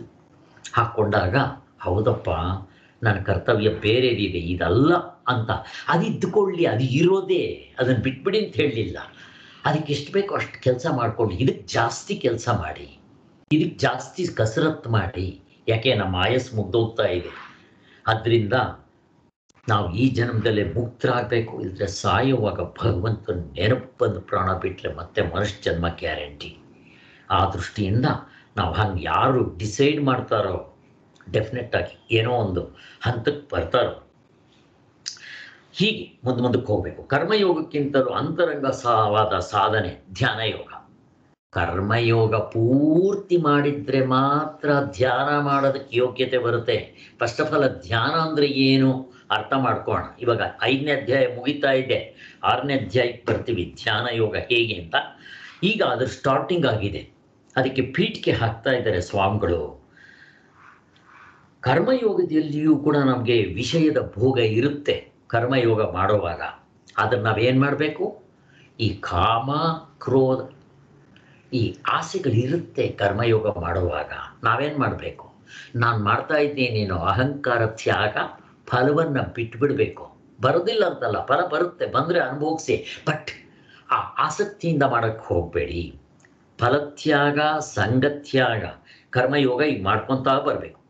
ಅದು ಬಾಹ್ಯ ಸಾಧನೆ. ಕರ್ಮಯೋಗ ನೀವು ಕರೆಕ್ಟಾಗಿ ಮಾಡಿದ್ದಾದರೆ ಸರ್ವಕರ್ಮ ಸನ್ಯಾಸ ಆಗಿ, ಕರ್ಮಗಳು ಬಿದ್ದೋಗಿ, ನೀವು ಧ್ಯಾನ ಯೋಗಕ್ಕೆ ಯೋಗ್ಯತೆ ತಂದುಕೊಡುತ್ತೆ. ನನಗೆ ಬಿ ಎಸ್ ಸಿ ಆಗಿದ ತಕ್ಷಣ ಎಂ ಎಸ್ ಸಿಗೂ ಹೋಗ್ಬೋದು. ಅದಕ್ಕೋಸ್ಕರ. ಕರ್ಮಯೋಗದಲ್ಲಿ ಯಾವ ಈಶ್ವರನನ್ನ, ಈಶ್ವರ ಅರ್ಪಣ ಬುದ್ಧಿಯಿಂದ ಮಾಡ್ತಾ ಇದ್ವಿ ನಾವು. ಅಲ್ವಾ? ನಾಲ್ಕು ಗೊತ್ತಿದೆ. ನಾಲ್ಕನೇದು ಈಶ್ವರ ಅರ್ಪಣ ಬುದ್ಧಿ. ಭಗವಂತ ಮೆಚ್ಚೋ ಹಾಗೆ ಮಾಡಬೇಕು. ಜನ ಮೆಚ್ಚೋದಲ್ಲ. ಜನ ಮೆಚ್ಚಕ್ಕಾಗೋದೇ ಇಲ್ಲ. ಬಿಟ್ಬಿಡ್ರಿ. ಅದಕ್ಕೆ ಹರ ಮೆಚ್ಚಬೇಕು ನನಗೆ. ಜನ ಮೆಚ್ಚೋದು ಕಟ್ಕೊಂಡು ಏನಾಗಬೇಕು? ಅದಕ್ಕೆ ಭಗವಂತ ಮೆಚ್ಚು ಹಾಗೆ ನಾನು ನನ್ನ ಕರ್ತವ್ಯವನ್ನು ಮಾಡಬೇಕು. ಯಾವುದು? ಸಾಧನೆಗಳನ್ನ ಮಾಡಿದ್ರೆ ಕರ್ಮಯೋಗ ಆಗುತ್ತೆ. ಈಗ ಧ್ಯಾನ ಯೋಗದಲ್ಲಿ ಯಾವ ಈಶ್ವರನನ್ನ ಮೆಚ್ಚಲಿ ಅಂತ ಮಾಡ್ತಾ ಇದ್ರು, ಧ್ಯಾನ ಯೋಗದಲ್ಲಿ ಆ ಈಶ್ವರನನ್ನ ಧ್ಯಾನ ಮಾಡಬೇಕಾಗಿದೆ. ಇದು. ಕರ್ಮಯೋಗದಲ್ಲಿ ಯಾರು ಈಶ್ವರ ಅರ್ಪಣ ಬುದ್ಧಿಯಿಂದ ಈಶ್ವರನಿಗೆ ಅರ್ಪಿಸಿ ಇದು ಭಗವಂತ ಪ್ರೀತಿಯಾಗ್ಲಿ ಅಂತ ಕೆಲಸ ಮಾಡಿರ್ತಾರೋ, ಅವರು ಆ ಈಶ್ವರನನ್ನ ಧ್ಯಾನ ಮಾಡೋದಕ್ಕೆ ಸಾಧ್ಯ ಆಗುತ್ತೆ ಅಂತ ಹೇಳ್ತಾ ಇದ್ದಾರೆ. ಆ ಈಶ್ವರನನ್ನ ನೇರಾಗಿ ಚಿಂತಿಸೋದೇ ಧ್ಯಾನ ಯೋಗವು. ಈಶ್ವರನೆಂಬುವನು ನಮ್ಮ ಹೊರಗೆ ಎಲ್ಲೋ ಇದ್ದಾನೆ ಅಂತ ತಿಳ್ಕೊಬಾರ್ದು. ನನ್ನ ನಿಜವಾದ ಸ್ವರೂಪ ಅದು. ವೈಕುಂಠದಲ್ಲಿದ್ದಾನ? ಕೈಲಾಸದಲ್ಲಿದ್ದಾನ? ಅಲ್ಲ. ಅವನು ಎಲ್ಲ ಕಡೆ ಇದ್ದಾನೆ. ನಾನು ಹೊರಗೆ ಹ್ಯಾಪಿ ಅನಾಲಿಸಿಸ್ ಹೇಳುವಾಗ ನಾನು ಹೇಳಿದ್ದೆ. ನಾನಂದ್ರೆ ಹೂ ಆಮ್ ಐ ಈಗ ಎಲ್ಲ ಕಡೆ ಪರಮಾತ್ಮನಿದ್ರೆ ನನ್ನಲ್ಲಿ ಇರ್ಬೇಕು ತಾನೆ. ಮತ್ತು ನನ್ನಲ್ಲಿದ್ದರೆ ಹೇಗಿರ್ತಾನೆ? ಅಂತ ಹೇಳಿ ಆ ಕಳ್ಳಕೃಷ್ಣನನ್ನ ಕಟ್ಟಾಕಿ ಇವತ್ತು ನಾನು ಕಳ್ಳಕೃಷ್ಣನ್ ತೋರಿಸ್ಕೊಡ್ತೀನಿ ಅಂತ ಹೇಳಿ ಅದನ್ನು ತೋರಿಸ್ಕೊಂಡು ನೋಡ್ಕೊಂಡಿದ್ವಿ. ಈಗ ಅವನ ಕಳ್ಳಕೃಷ್ಣ ಯಾರು ಅಂತ ನಮ್ಗೆ ಚೆನ್ನಾಗಿ ಗೊತ್ತಾಗಿದೆ. ನಮ್ಮ ನಿಜವಾದ ಆತ್ಮಸ್ವರೂಪ. ಈಗ ಅವನನ್ನು ಧ್ಯಾನ ಮಾಡೋದು ಹೇಗೆ ಅನ್ನೋದನ್ನು ಇವತ್ತು ತೋರಿಸ್ತಾರೆ. ಆ ಅಂತರಾತ್ಮನಾದ ಬ್ರಹ್ಮವನ್ನು ಧ್ಯಾನಿಸುವುದೇ ಧ್ಯಾನ ಯೋಗದ ನಿಜವಾದ ಉಪ ಅದು. ಅದು ಧ್ಯಾನ ಯೋಗದ ಗುರಿ. ಇಲ್ಲಿ ವಿಷಯ ಧ್ಯಾನ ಮಾಡಬಾರ್ದು. ಮೊದಲೆಲ್ಲ ವಿಷಯ ಕುರಿತು ಧ್ಯಾನ ಮಾಡ್ತಾ ಇದ್ವಿ. ಹೆಂಡತಿ, ಮಕ್ಕಳು, ಮನೆ, ಮಠ ಆಬ್ಜೆಕ್ಟ್ಸ್ ನಾವು ಚಿಂತನೆ ಮಾಡಿದ್ರೆ ಏನೇನು ಮಾಡ್ತೀವಿ ಗೊತ್ತಾ? ಅವಸ್ಥೆಯಲ್ಲಿ ಏನೇನಿದೆ? ನನ್ನ ವಿಚಾರ. ತಪ್ಪಿದ್ರೆ ನನ್ನ ಹೆಂಡತಿ, ಮಕ್ಕಳು, ಮೊಮ್ಮಕ್ಕಳು ವಿಚಾರ. ತಪ್ಪಿದ್ರೆ ಪ್ರಪಂಚದ ವಿಚಾರ. ಆದಿ ದೈವಿಕ. ಸೂರ್ಯ, ಚಂದ್ರ, ನಕ್ಷತ್ರಗಳು ಅಥವಾ ಕರೋನಾ ವಿಚಾರನೋ ಅಥವಾ ಇಂಥವನ್ನೇ ನಾವು ಯೋಚನೆ ಮಾಡ್ತಾ ಇರ್ತೀವಿ. ಈಗ ಧ್ಯಾನ ಯೋಗಕ್ಕೆ ಹೋದಾಗ ಇವೆಲ್ಲ ಬಿಟ್ಬಿಡ್ಬೇಕು. ಬಿಟ್ಟು ನನ್ನ ಒಳಗಡೆ ಇರೋ ಆ ಬ್ರಹ್ಮನ ಮಾತ್ರ ಚಿಂತನೆ ಮಾಡ್ತಾ ಇರಬೇಕು. ಇದು. ಮನುಷ್ಯನಿಗೆ ನಿಜವಾದ ಸುಖವಕ್ಕೆ ಉಪಾಯ ಇದೆ. ಈಗ ಸ್ಪಷ್ಟ ಆಗಿರುತ್ತೆ ಕರ್ಮಯೋಗ ಬಲಿತ್ರೆ ಧ್ಯಾನ ಯೋಗ ಸಿಗುತ್ತೆ. ಕರ್ಮಯೋಗ ಚೆನ್ನಾಗಿ ಹಣ್ಣಾಗಿರಬೇಕು. ಕರ್ಮಯೋಗವನ್ನ ಯಾರು ಚೆನ್ನಾಗಿ ಮಾಡಿರ್ತಾರೋ ಕರ್ಮಯೋಗ ಒಂದೇ ಅಲ್ಲ. ಅದರ ಜೊತೆಯಲ್ಲಿ ಪರಂಪರಾ ಸಾಧನೆ ಅಂತ ಹೇಳಿದ್ದೆ. ಇದು ಮೊದಲನೇ ಸ್ಟೆಪ್ಪು ಕರ್ಮಯೋಗ, ಜಪ ಎರಡನ್ನೂ ಜೊತೆಯಲ್ಲೇ ಮಾಡ್ಕೊಂಬರ್ಬೇಕು ಯಾರು ಇದನ್ನು ಚೆನ್ನಾಗಿ ಮಾಡಿರ್ತಾರೋ, ಕರ್ಮಯೋಗದಲ್ಲಿ ನೀವು ಪಾಸ್ ಆಗಿರ್ತೀರೋ ಬಿ ಎಸ್ ಸಿ ಪಾಸ್ ಆದರೆ ನೆಕ್ಸ್ಟ್ ನೀವು ಎಂ ಎಸ್ ಸಿಗೆ ಬರ್ತೀರಾ. ಆ್ಯಕ್ಚುಲಿ ಕರ್ಮಯೋಗ ಇವೆಲ್ಲ ಮುಗಿದೋಗ್ಬಿಟ್ಟು ನೀವು ಪಿ ಹೆಚ್ ಡಿ ಕ್ಲಾಸ್ಗೆ ಬಂದಿದ್ದೀರ, ಧ್ಯಾನ ಮಾಡಬೇಕು ಅಂದರೆ P H D P H D ಕ್ಲಾಸಿಗೆ ಬರಬೇಕಾದ್ರೆ B S C M S C ಮುಗ್ದಿರಬೇಕು. ಅಲ್ಲಿಗೆ ಕರ್ಮಯೋಗ ಅನ್ನೋದು ಎಂ ಎಸ್ ಸಿ ಹಾಗಾದರೆ ಬಿ ಎಸ್ ಸಿ ಪಾಠಗಳು ಯಾವ ಸ್ವಾಮಿ? ಅಂದರೆ ಯಾಗ, ಯಜ್ಞ, ಹೋಮ, ಹವನ, ಜಪ, ತಪ, ವ್ರತ, ನಿಯಮ, ಉಪವಾಸ. ಇವುಗಳೆಲ್ಲ ಮೊದಲು ಮಾಡ್ಕೊಂಬಂದಿರಬೇಕು. ಗಂಗಾ ಸ್ನಾನ ಯಾತ್ರೆ, ದಾನ, ಧರ್ಮ, ಜಪ, ತಪಗಳು ಮೊದಲೇ ಮಾಡಿಕೊಂಡಿರಬೇಕು. ಅವುಗಳು ಮಾಡಿಕೊಂಡು ಇವು ಬಿ ಎಸ್ ಸಿ ಪಾಠಗಳು. ಎಂ ಎಸ್ ಸಿ ಪಾಠದಲ್ಲಿ ಕರ್ಮಯೋಗ, ಶ್ರವಣ ಮಾಡೋದು, ಮೂರತ್ತು ದೇವ್ರ ಚಿಂತನೆ ಮಾಡೋದು, ಅದನ್ನೇ ಚಿಂತೆ ಮಾಡ್ತಾ ಇರೋದು ಇವುಗಳು ಮಾಡಿರಬೇಕು.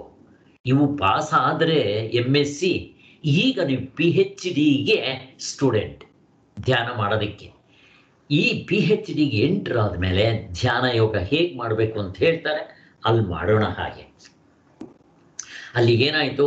ಕರ್ಮಯೋಗ ಪೂರ್ತಿ ಬರುತ್ತೆ ಧ್ಯಾನ ಯೋಗ. ಆ ಧ್ಯಾನ ಯೋಗ P H D class P H D ಚೆನ್ನಾಗಿ ಪಾಸ್ ಆಗಿ ನೀವು ಪಾಸ್ ಆದರೆ ಮೋಕ್ಷ. ಮತ್ತೇನು ಬೇಕು? ಮೋಕ್ಷ ಆದಮೇಲೆ ಮುಗ್ದೋಯ್ತು. ಇನ್ನೇನೂ ಬೇಕಾಗಿಲ್ಲ. ಯಾವುದು ಒಂದನ್ನು ಪಡೆದರೆ ಪ್ರಪಂಚದಲ್ಲಿ ಎಲ್ಲವನ್ನೂ ಪಡೆದಂಗಾಗಿರುತ್ತೆ. ಅಂತ ಸಿಕ್ಬಿಡುತ್ತೆ. ಆದ್ದರಿಂದ ಹೀಗೆ ಸ್ಟೆಪ್ಸು ಆದ್ದರಿಂದ ಭಗವಂತನೇ ಇಲ್ಲಿ ಆತ್ಮಜ್ಞಾನಿಯನ್ನು, ಅಂಥ ಅಂತರ್ಸುಖನು ಅಂತರ ರಾಮನು ಅಂತರ್ಜ್ಯೋತಿ ಅಂತ ಹೊಗಳಿದ್ದಾನೆ. ಜ್ಞಾನ ಯೋಗಿಗೆ ಆತ್ಮವಸ್ತು ಒಂದೇ ಪರಮಾರ್ಥ. ಅವನ ಗುರಿ ಏನಿರುತ್ತೆ? ಮೋಕ್ಷ. ದೇವರೇ ಬೇಕು. ರಾಮಕೃಷ್ಣ ಪರಮಹಂಸರು ಇದ್ದಂಗೆ ಇರಬೇಕು. ಇದೆಯಾ? ಚೆಕ್ ಮಾಡ್ಕೋಬೇಕು. ಅದು ಒಳಗೂ ಹೊರಗೂ ಎಲ್ಲ ಕಡೆ ಅದೇ ಇರೋದು. ಒಳಗೆ, ಹೊರಗೆ, ಮೇಲೆ, ಕೆಳಗೆ, ಮುಂದೆ, ಹಿಂದೆ ಎಲ್ಲ ಕಡೆ ವ್ಯಾಪ್ಸಿರುತ್ತೆ ಅದು ಆಮ್ನಿ ಪ್ರೆಸೆನ್ಸ್ ಅಲ್ವಾ? ಹಾಗೆ ಓತ ಪ್ರೋತವಾಗಿರುತ್ತೆ ಅದು ತನ್ನಲ್ಲಿದೆ ಅಂತ ತನ್ನ ಒಳಗಡೆ ನೋಡ್ಕೊಳ್ಳೋದು ಸುಲಭ. ಎಲ್ಲ ಕಡೆ ಇದೆ. ಹೊರಗಡೆ ನೋಡೋದಕ್ಕಿಂತ ನನ್ನ ಒಳಗಡೆ ನೋಡ್ಕೊಳ್ಳೋದು ಸುಲಭ ಅಲ್ವಾ? ನನಗೆ ತುಂಬ ಹತ್ರ ಯಾವುದು, ನನ್ನ ಒಳಗಡೆ. ಆದ್ದರಿಂದ ಒಳಗಡೆ ಕಂಡುಕೊಳ್ಳೋದಕ್ಕೆ ಪ್ರಯತ್ನ ಮಾಡಬೇಕು. ಆ ಅದ್ವಿತೀಯ ವಸ್ತು ಅವನು ಕಂಡುಕೊಂಡಾಗ ಗೊತ್ತಾಗತ್ತೆ, ಆಹಾ, ಅದೊಂದೇ ಇರೋದು, ಸತ್ಯವಾಗಿರೋದು ಅಂತ. ಆವಾಗ ಈ ಶರೀರಾಭಿಮಾನ, ವ್ಯವಹಾರ ದೃಷ್ಟಿಯಿಂದ ಅದು ಹೋಗ್ಬಿಡುತ್ತವಾಗ ಅಂತ ಹೇಳಿ. ಪ್ರತಿಯೊಬ್ಬನು ತನ್ನ ತನ್ನ ಒಳಗೆ ಆತ್ಮನನ್ನು ಧ್ಯಾನಿಸಿ ವಿಷಯ ವಿಷಯ ಸಿಕ್ಕಕ್ಕಿಂತಲೂ ಮಿಗಿಲಾಗಿರೋ ಬ್ರಹ್ಮಾನಂದವನ್ನು ಪಡ್ಕೊಳ್ಳೋದಕ್ಕೆ ಪ್ರಯತ್ನ ಮಾಡಬೇಕು. ಈ ಬ್ರಹ್ಮ ನಿರ್ವಾಣಕ್ಕೆ ಅಂತರ್ದೃಷ್ಟಿ ಬೇಕಾಗುತ್ತೆ. ಈಗ ನಮಗಿರೋದು ಬಾಹ್ಯ ದೃಷ್ಟಿ. ಬಾಹ್ಯ ದೃಷ್ಟಿ ಅಂದರೆ ಏನು? ನಾವು ಮೂರೊತ್ತು ಪ್ರಪಂಚದ ಕಡೆನೇ ಇರುತ್ತೆ ನಮ್ಮ ಮನಸ್ಸು. ಕರ್ಮೇಂದ್ರಿಯಗಳು ಜ್ಞಾನೇಂದ್ರಿಯಗಳು ಅಂತಃಕರಣ, ನಮ್ಮ ಶರೀರ ಮೂರೊತ್ತು ಪ್ರಪಂಚದ ಕಡೆ ಇರುತ್ತೆ. ಅದನ್ನು ತಪ್ಪಿಸಿ ಒಳಮುಖವಾಗಬೇಕು. ಹಾಗೆ. ಇದು ಸ್ನೇಹಿತರು ನೋಡೋಕೆ ಹೋಗಬಾರ್ದು, ಪಿಕ್ಚರ್ಗಳು ನೋಡೋಕೆ ಹೋಗಬಾರ್ದು, ಮತ್ತು ಅವ್ರ ಹತ್ರ ಇವ್ರ ಹತ್ರ ತಲೆ ಹರಟೆ ಹೊಡಿಬಾರ್ದು. ಮೂರೊತ್ತು ಏಕಾಂತವಾಸ, ಮೌನ, ಇದು ಅಂತರ್ಮುಖತ್ವ. ಇವು ಬಂದರೆ ಧ್ಯಾನ ಯೋಗ ಮಾಡೋದಕ್ಕೆ ಸಹಾಯ ಆಗುತ್ತೆ ಇಲ್ಲದಿದ್ರೆ ಬರೋದಿಲ್ಲ ಬ್ರಹ್ಮಧ್ಯಾನವು ಬೇಕು, ಬ್ರಹ್ಮಭೂತನಾಗಬೇಕು. ಯಾರು ಯಾವುದರಲ್ಲಿ ಸೇರಿ ಹೋಗ್ತಾನೋ ಅವನು ಅದೇ ಆಗ್ಬಿಡ್ತಾನೆ. ನೀವು ಯಾವುದನ್ನು ಕುರಿತು ಚಿಂತನೆ ಮಾಡ್ತೀವೋ ನಾವು ಅದಾಗ್ಬಿಡ್ತೀವಿ. ಆ ಕಂಬಳಿ ಹುಳು ಚಿಟ್ಟೆನ ಕುರಿತು ಚಿಂತನೆ ಮಾಡ್ತಾ ಇದ್ರೆ ಅದು ಚಿಟ್ಟೆ ಹುಳು ಆಗ್ಬಿಡುತ್ತೆ ಒಂದಿನ. ನಾವು ಪ್ರಪಂಚವನ್ನು ಕುರಿತು ಚಿಂತನೆ ಮಾಡಿದ್ರೆ ಪ್ರಪಂಚವೇ ಆಗ್ತೀವಿ ನಾವು. ಅದರ ದುಃಖ ನಮಗೂ ಅಂಟ್ಕೊಳ್ಳುತ್ತೆ.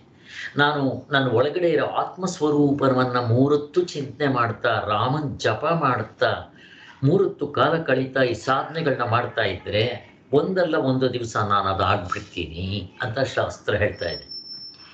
ಈಗ ನಾವು ಸಿಟ್ಟು ಬೇರೆಯಾಗಿರ್ತೀವಿ ಪ್ರಪಂಚದಲ್ಲಿ ನಾನು ಬೇರೆ, ಸಿಟ್ಟು ಬೇರೆ. ನಾನು ಬೇರೆ, ಕಾಮ ಬೇರೆ. ಸಿಟ್ಟು ಬಂದಾಗ, ಕೋಪ ಬ, ಕೋಪ ಬಂದಾಗ ನಾನೇ ಸಿಟ್ಟಾಗ್ಬಿಡ್ತೀನಿ. ನಾನೇ ಕಾಮವಾಗ್ಬಿಡ್ತೀನಿ. ಹಿಂದೆ ಹೇಳಿದ್ವಿ. ಅಷ್ಟೇ, ಅದನ್ನೇ ಮತ್ತೆ ಇಲ್ಲಿ ಹೇಳ್ತಾ ಇದ್ದಾರೆ ಇದರಂತೆ ಬ್ರಹ್ಮಧ್ಯಾನದಿಂದ ಬ್ರಹ್ಮವೇ ಆಗ್ಬಿಡ್ತೀವಿ ನಾವು. ಬ್ರಹ್ಮಾನಂದ ಹೊಂದ್ಬಿಡ್ತೀವಿ.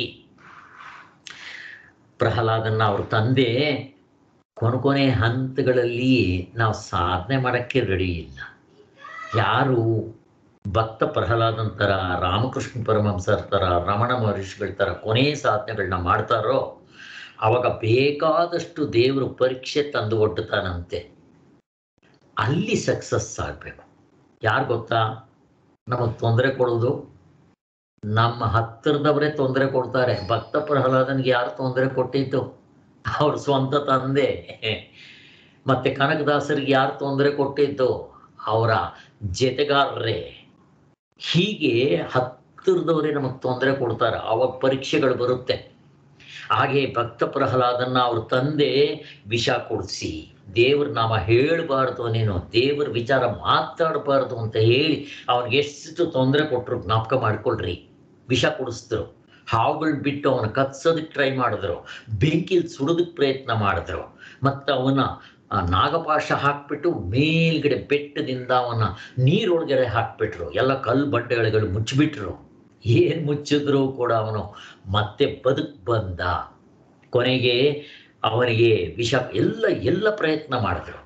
ಆದರೂ ಅವನು ನಾರಾಯಣ ಓಂ ನಮೋ ನಾರಾಯಣಾಯ.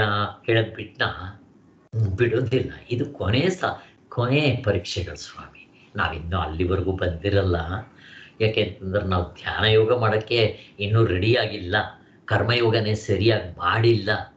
ಇನ್ನೂ ನಾವು ಈ ಯಾಗ, ಯಜ್ಞ, ಹೋಮ, ಹವನಗಳನ್ನೇ ಸರಿಯಾಗಿ ಮಾಡಿಲ್ಲ. ಯಮ ನಿಯಮಗಳ ಪಾಲನೆ ಮಾಡಿಲ್ಲ. ಆದರೆ ಈ ಹಂತ ಬರುತ್ತೆ ಅಂತ ಹೇಳ್ತಾ ಇದ್ದಾರೆ ನಾವು ಎಲ್ಲಿದ್ದೀವೋ ನಾವು ಚೆಕ್ ಮಾಡಿಕೊಂಡು ಅಲ್ಲಿಂದ ಮುಂದಕ್ಕೆ ಹೋಗೋದಕ್ಕೆ ಪ್ರಯತ್ನ ಮಾಡಬೇಕು.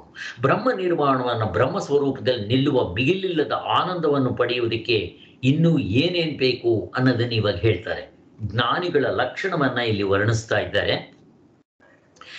ಇಲ್ಲಿ ನೋಡ್ರಿ, ಈ ಧ್ಯಾನವನ್ನ ಮಾಡಿ ಜ್ಞಾನ ಆಗ್ಬಿಟ್ರೆ ಮುಕ್ತನಾದವನು ಹೇಗಿರ್ತಾನೆ? ಯಾರಲ್ಲಿ ಪಾಪ ಪುಣ್ಯಗಳ ಸಂಬಂಧ ಕಿಂಚಿತ್ ಇರಬಾರ್ದು. ಪಾಪ ಪುಣ್ಯ ಕಿಂಚಿತ್ ಇರಬಾರ್ದು. ಎಲ್ಲ ಹೋಗ್ಬಿಟ್ಟಿರ್ಬೇಕು ಯಾವಾಗ? ಧ್ಯಾನ ಯೋಗ ಮಾಡೋದಕ್ಕೆ ಸಿದ್ಧವಾದರೆ ಕರ್ಮಗಳು ಬಿದ್ದೋಗಿರಬೇಕು. ನನ್ನಲ್ಲಿ ಪಾಪ ಪುಣ್ಯಗಳು ಪೂರ್ತಿ ನಷ್ಟವಾಗಿರಬೇಕು. ಇನ್ನೂ ಇರುತ್ತೆ, ಸೂಕ್ಷ್ಮವಾಗಿರುತ್ತೆ. ಮತ್ತು ಅದು ಯಾವಾಗ ಹೋಗುತ್ತೆ? ಮುಕ್ತನಾದ ಮೇಲೆ ಹೋಗುತ್ತೆ. ಆದರೆ ನೀವು ಧ್ಯಾನ ಯೋಗಕ್ಕೆ ಬರೋ ಅಷ್ಟೊತ್ತಿಗೆ ನೀವು ತುಂಬ ಶುದ್ಧರಾಗಿರಬೇಕು. ನಿಮ್ಮ ಅಂತಃಕರಣ ಶುದ್ಧಿಯಾಗಿರಬೇಕು. ಆಗ ಅವರಿಗೆ ಕರ್ಮಗಳು ಪೂರ್ತಿ ಸೌದಿರಬೇಕು ಪದಾರ್ಥದ ವಿಷಯದ ಸಂಶಯಗಳು ಕತ್ತರಿಸಿರ್ಬೇಕು. ಮತ್ತೆ ಇಂದ್ರಿಯಗಳನ್ನು ಜಯಿಸ್ಕೊಂಡಿರ್ಬೇಕು ಅವರು.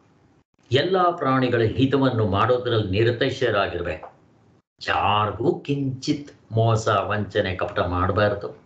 ಎಲ್ಲರಲ್ಲೂ ಪ್ರೀತಿ, ವಾತ್ಸಲ್ಯ, ಪ್ರೇಮ, ಸಹನೆ, ತಾಳ್ಮೆ ತುಂಬಿಕೊಂಡಿರಬೇಕು. ತತ್ವದ ವಿಷಯಕ್ಕೆ ಬೇಕಾದಷ್ಟು ಸಂಶಯಗಳು ಬರುತ್ತೆ.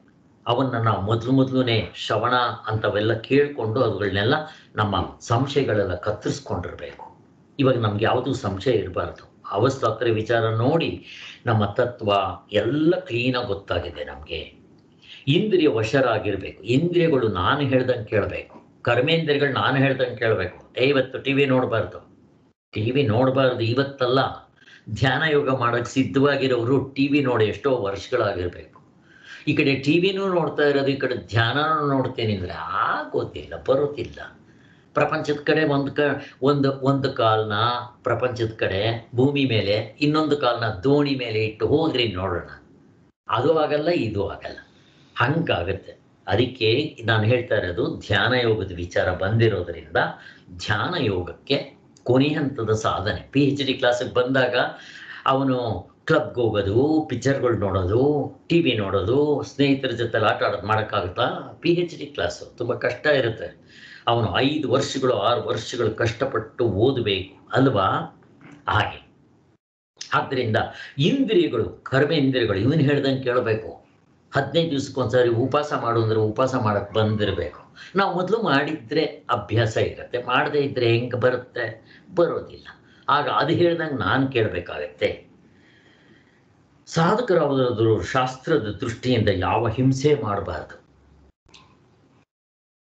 ಕಾಯ, ವಾಚ, ಮನಸ ಮೂರರಿಂದನೂ ಯಾರಿಗೂ ಸುಳ್ಳು ಹೇಳಬಾರ್ದು, ಮೋಸ ಮಾಡಬಾರ್ದು, ಹಿಂಸೆ ಮಾಡಬಾರ್ದು. ಇದು ತುಂಬ ಇಂಪಾರ್ಟೆಂಟ್ ಆದರೆ ಮೂರತ್ತು ಪರೋಪಕಾರ ಮಾಡೋದಕ್ಕೆ ನಾವು ಸಿದ್ಧವಾಗಿರಬೇಕು. ಆದರೆ ಧ್ಯಾನ ಯೋಗ ಮಾಡುವಾಗ ಪರೋಪಕಾರ ನಿಂತೋಗಿರುತ್ತೆ. ಚೆನ್ನಾಗಿ ಅರ್ಥ ಮಾಡ್ಕೊಳ್ರಿ. ಸರ್ವಕರ್ಮ ಸನ್ಯಾಸ ಆಗಿರಬೇಕು. ಅವಾಗೆ ಮೊದಲು ಮೊದಲು ಇವೆಲ್ಲ ಮಾಡಿರಬೇಕು. ಪರೋಪಕಾರ, ಜನಗಳ ಸೇವೆ, ಆಶ್ರಮದ ಸೇವೆ, ದೇವಸ್ಥಾನಗಳ ಸೇವೆ, ಜನಗಳ ಸೇವೆ, ದಾನ, ಧರ್ಮಗಳು. ಮತ್ತು ಅವನು ಹೆಂಗೆ ಮಾಡಿರಬೇಕು? ಕರ್ಮಯೋಗದ ರೂಪದಲ್ಲಿ ಮಾಡಿರಬೇಕು. ನನಗೆ ಹೆಸರು ಬರಲಿ, ನನಗೆ ಸೀಟ್ ಕೊಟ್ಟಲಿ ಹಾರ ಹಾಕಲಿ, ನಾನು ಕನ್ಸಿಡರ್ ಮಾಡಲಿ ಅಂತಿದ್ರೆ ಇನ್ನೂ ಕರ್ಮಯೋಗ ಆಗಿಲ್ಲ. ಧ್ಯಾನ ಮಾಡೋಕ್ಕಾಗೋದಿಲ್ಲ ಅವರು. ಆದ್ದರಿಂದ ಇವೆಲ್ಲ ಮುಗಿಸ್ಕೊಂಡಿದ್ದರೆ ಧ್ಯಾನ ಯೋಗ ಮಾಡೋದಕ್ಕೆ ಸಹಾಯ ಆಗುತ್ತೆ ಅಂತ ಹೇಳ್ತಾ ಇರೋದು. ಯಾರು ಕಾಮಕ್ರೋಧಗಳಿಲ್ಲದೆ ಕಾಮಕ್ರೋಧಗಳು ಇರಬಾರ್ದು. ಇರುತ್ತೆ, ತುಂಬ ಮಿನಿಮಲ್ ಆಗಿರುತ್ತೆ. ಯಾಕೆ ಇನ್ನೂ ಮುಕ್ತನಾಗಿಲ್ಲ? ಯಥಚಿತ್ತನಾಗಿ ಆತ್ಮತತ್ವವನ್ನು ಅರಿತುಕೊಂಡಿರುವವನಿಗೆ ಅಂತ ಮಹಾತ್ಮರಿಗೆ ಎಲ್ಲೆಲ್ಲಿಯೂ ಭ್ರಮವೇ ಕಾಣಿಸ್ತಾನೆ, ಮುಕ್ತರಾದವರಿಗೆ. ಹಾಗೆ ಸಾಮಾನ್ಯ ಜನರು ಎಲ್ಲ ಕ್ಷೇತ್ರಗಳಿಗೆ ಯಾತ್ರೆಗೋಸ್ಕರ ಹೋಗ್ತಾರೆ. ಆದರೆ ನಿಜವಾದ ಯಾತ್ರೆ ಮಾಡ್ತೀವ ನಾವು? ಮಾಡೋದಿಲ್ಲ. ನಮ್ಗೇನಾಗುತ್ತೆ ಅಲ್ಲಿ? ಯಾತ್ರೆಗಳು ಕೂಡ ಯಾತನಾ ಸ್ಥಳಗಳಾಗ್ಬಿಡುತ್ತೆ. ಯಾಕೆ ಅಂತಂದ್ರೆ ಎಲ್ಲಿ ನನ್ನ ದುಡ್ಡು ಕಳ್ತಾನ ಮಾಡ್ತಾನೋ ನಮ್ಮ ಮನಸ್ಸು ಅದರಲ್ಲಿರುತ್ತೆ. ಆ ದೇವಸ್ಥಾನಗಳಿಗೆ ಹೋದ್ರೆ ಪರಮಾತ್ಮನ ನೋಡಿ, ಪರಮಾತ್ಮನ ಆನಂದ, ಪರಮಾತ್ಮನ ನೆನ್ಸ್ಕೊಳ್ಳುವಂಥ ಪುಣ್ಯ ಕೂಡ ಕಷ್ಟ ಆಗ್ಬಿಡುತ್ತೆ ಅಲ್ಲಿ. ಎಲ್ಲಿ ಉಳ್ಕೋಬೇಕೋ, ಏನು ಕಥೆನೋ, ನಮಗೆ ನಾಳೆ ಏನಾಗುತ್ತೋ, ನಾನು ಹಣ ಯಾವನ್ ಕದೀತಾನೋ, ಇವೇ ಯೋಚನೆಗಳಿರುತ್ತೆ ಯಾವ್ದ ಯಾರಾದ್ರೂ ನಮ್ಮನ್ನು ಮೋಸ ಮಾಡಿದ್ರೆ ಏನು? ನನ್ನ ಗಂಟು ಕಿತ್ಕೊಂಡ್ರೆ ಏನು? ನಾನು ಪರ ಸ್ಥಳಕ್ಕೆ ಬಂದಿದ್ದೀನಿ.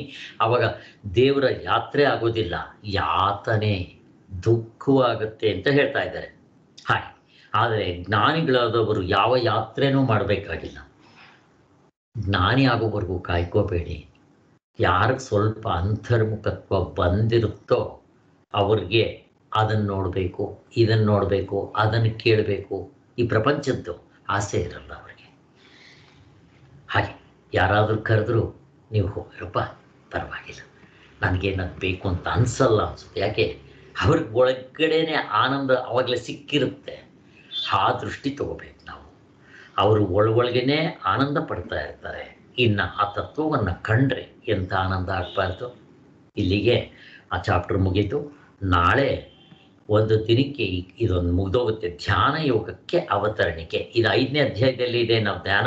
ಇನ್ನೂ ಆರನೇ ಅಧ್ಯಾಯಕ್ಕೆ ಎಂಟ್ರ್ ಆಗಿಲ್ಲ ಆದರೆ ಈ ಶಾಸ್ತ್ರದಲ್ಲಿ ಮುಂದೆ ಬರೋ ಅಧ್ಯಾಯವನ್ನ ಅದರ ಹಿಂದಿನ ಅಧ್ಯಾಯದಲ್ಲಿ ಪೀಠಿಕೆಯಲ್ಲಿ ಒಂದೆರಡು ಮೂರು ಶ್ಲೋಕಗಳನ್ನ ಹೇಳ್ತಾರೆ. ಅವುಗಳನ್ನ ನಾಳೆ ನೋಡೋಣ. ಇಲ್ಲಿಂದನೇ ಸ್ಟಾರ್ಟ್ ಆಗುತ್ತೆ ಧ್ಯಾನ ಯೋಗ. ಇದು ಪೀಠಿಕೆ ಅಂತ ಹೇಳ್ತಾರೆ ಆರನೇ ಅಧ್ಯಾಯಕ್ಕೆ. ನಾಳೆ ನೋಡೋಣ. ಓಂ ಶಾಂತಿ ಶಾಂತಿ ಶಾಂತಿ. ಜೈ ಗುರು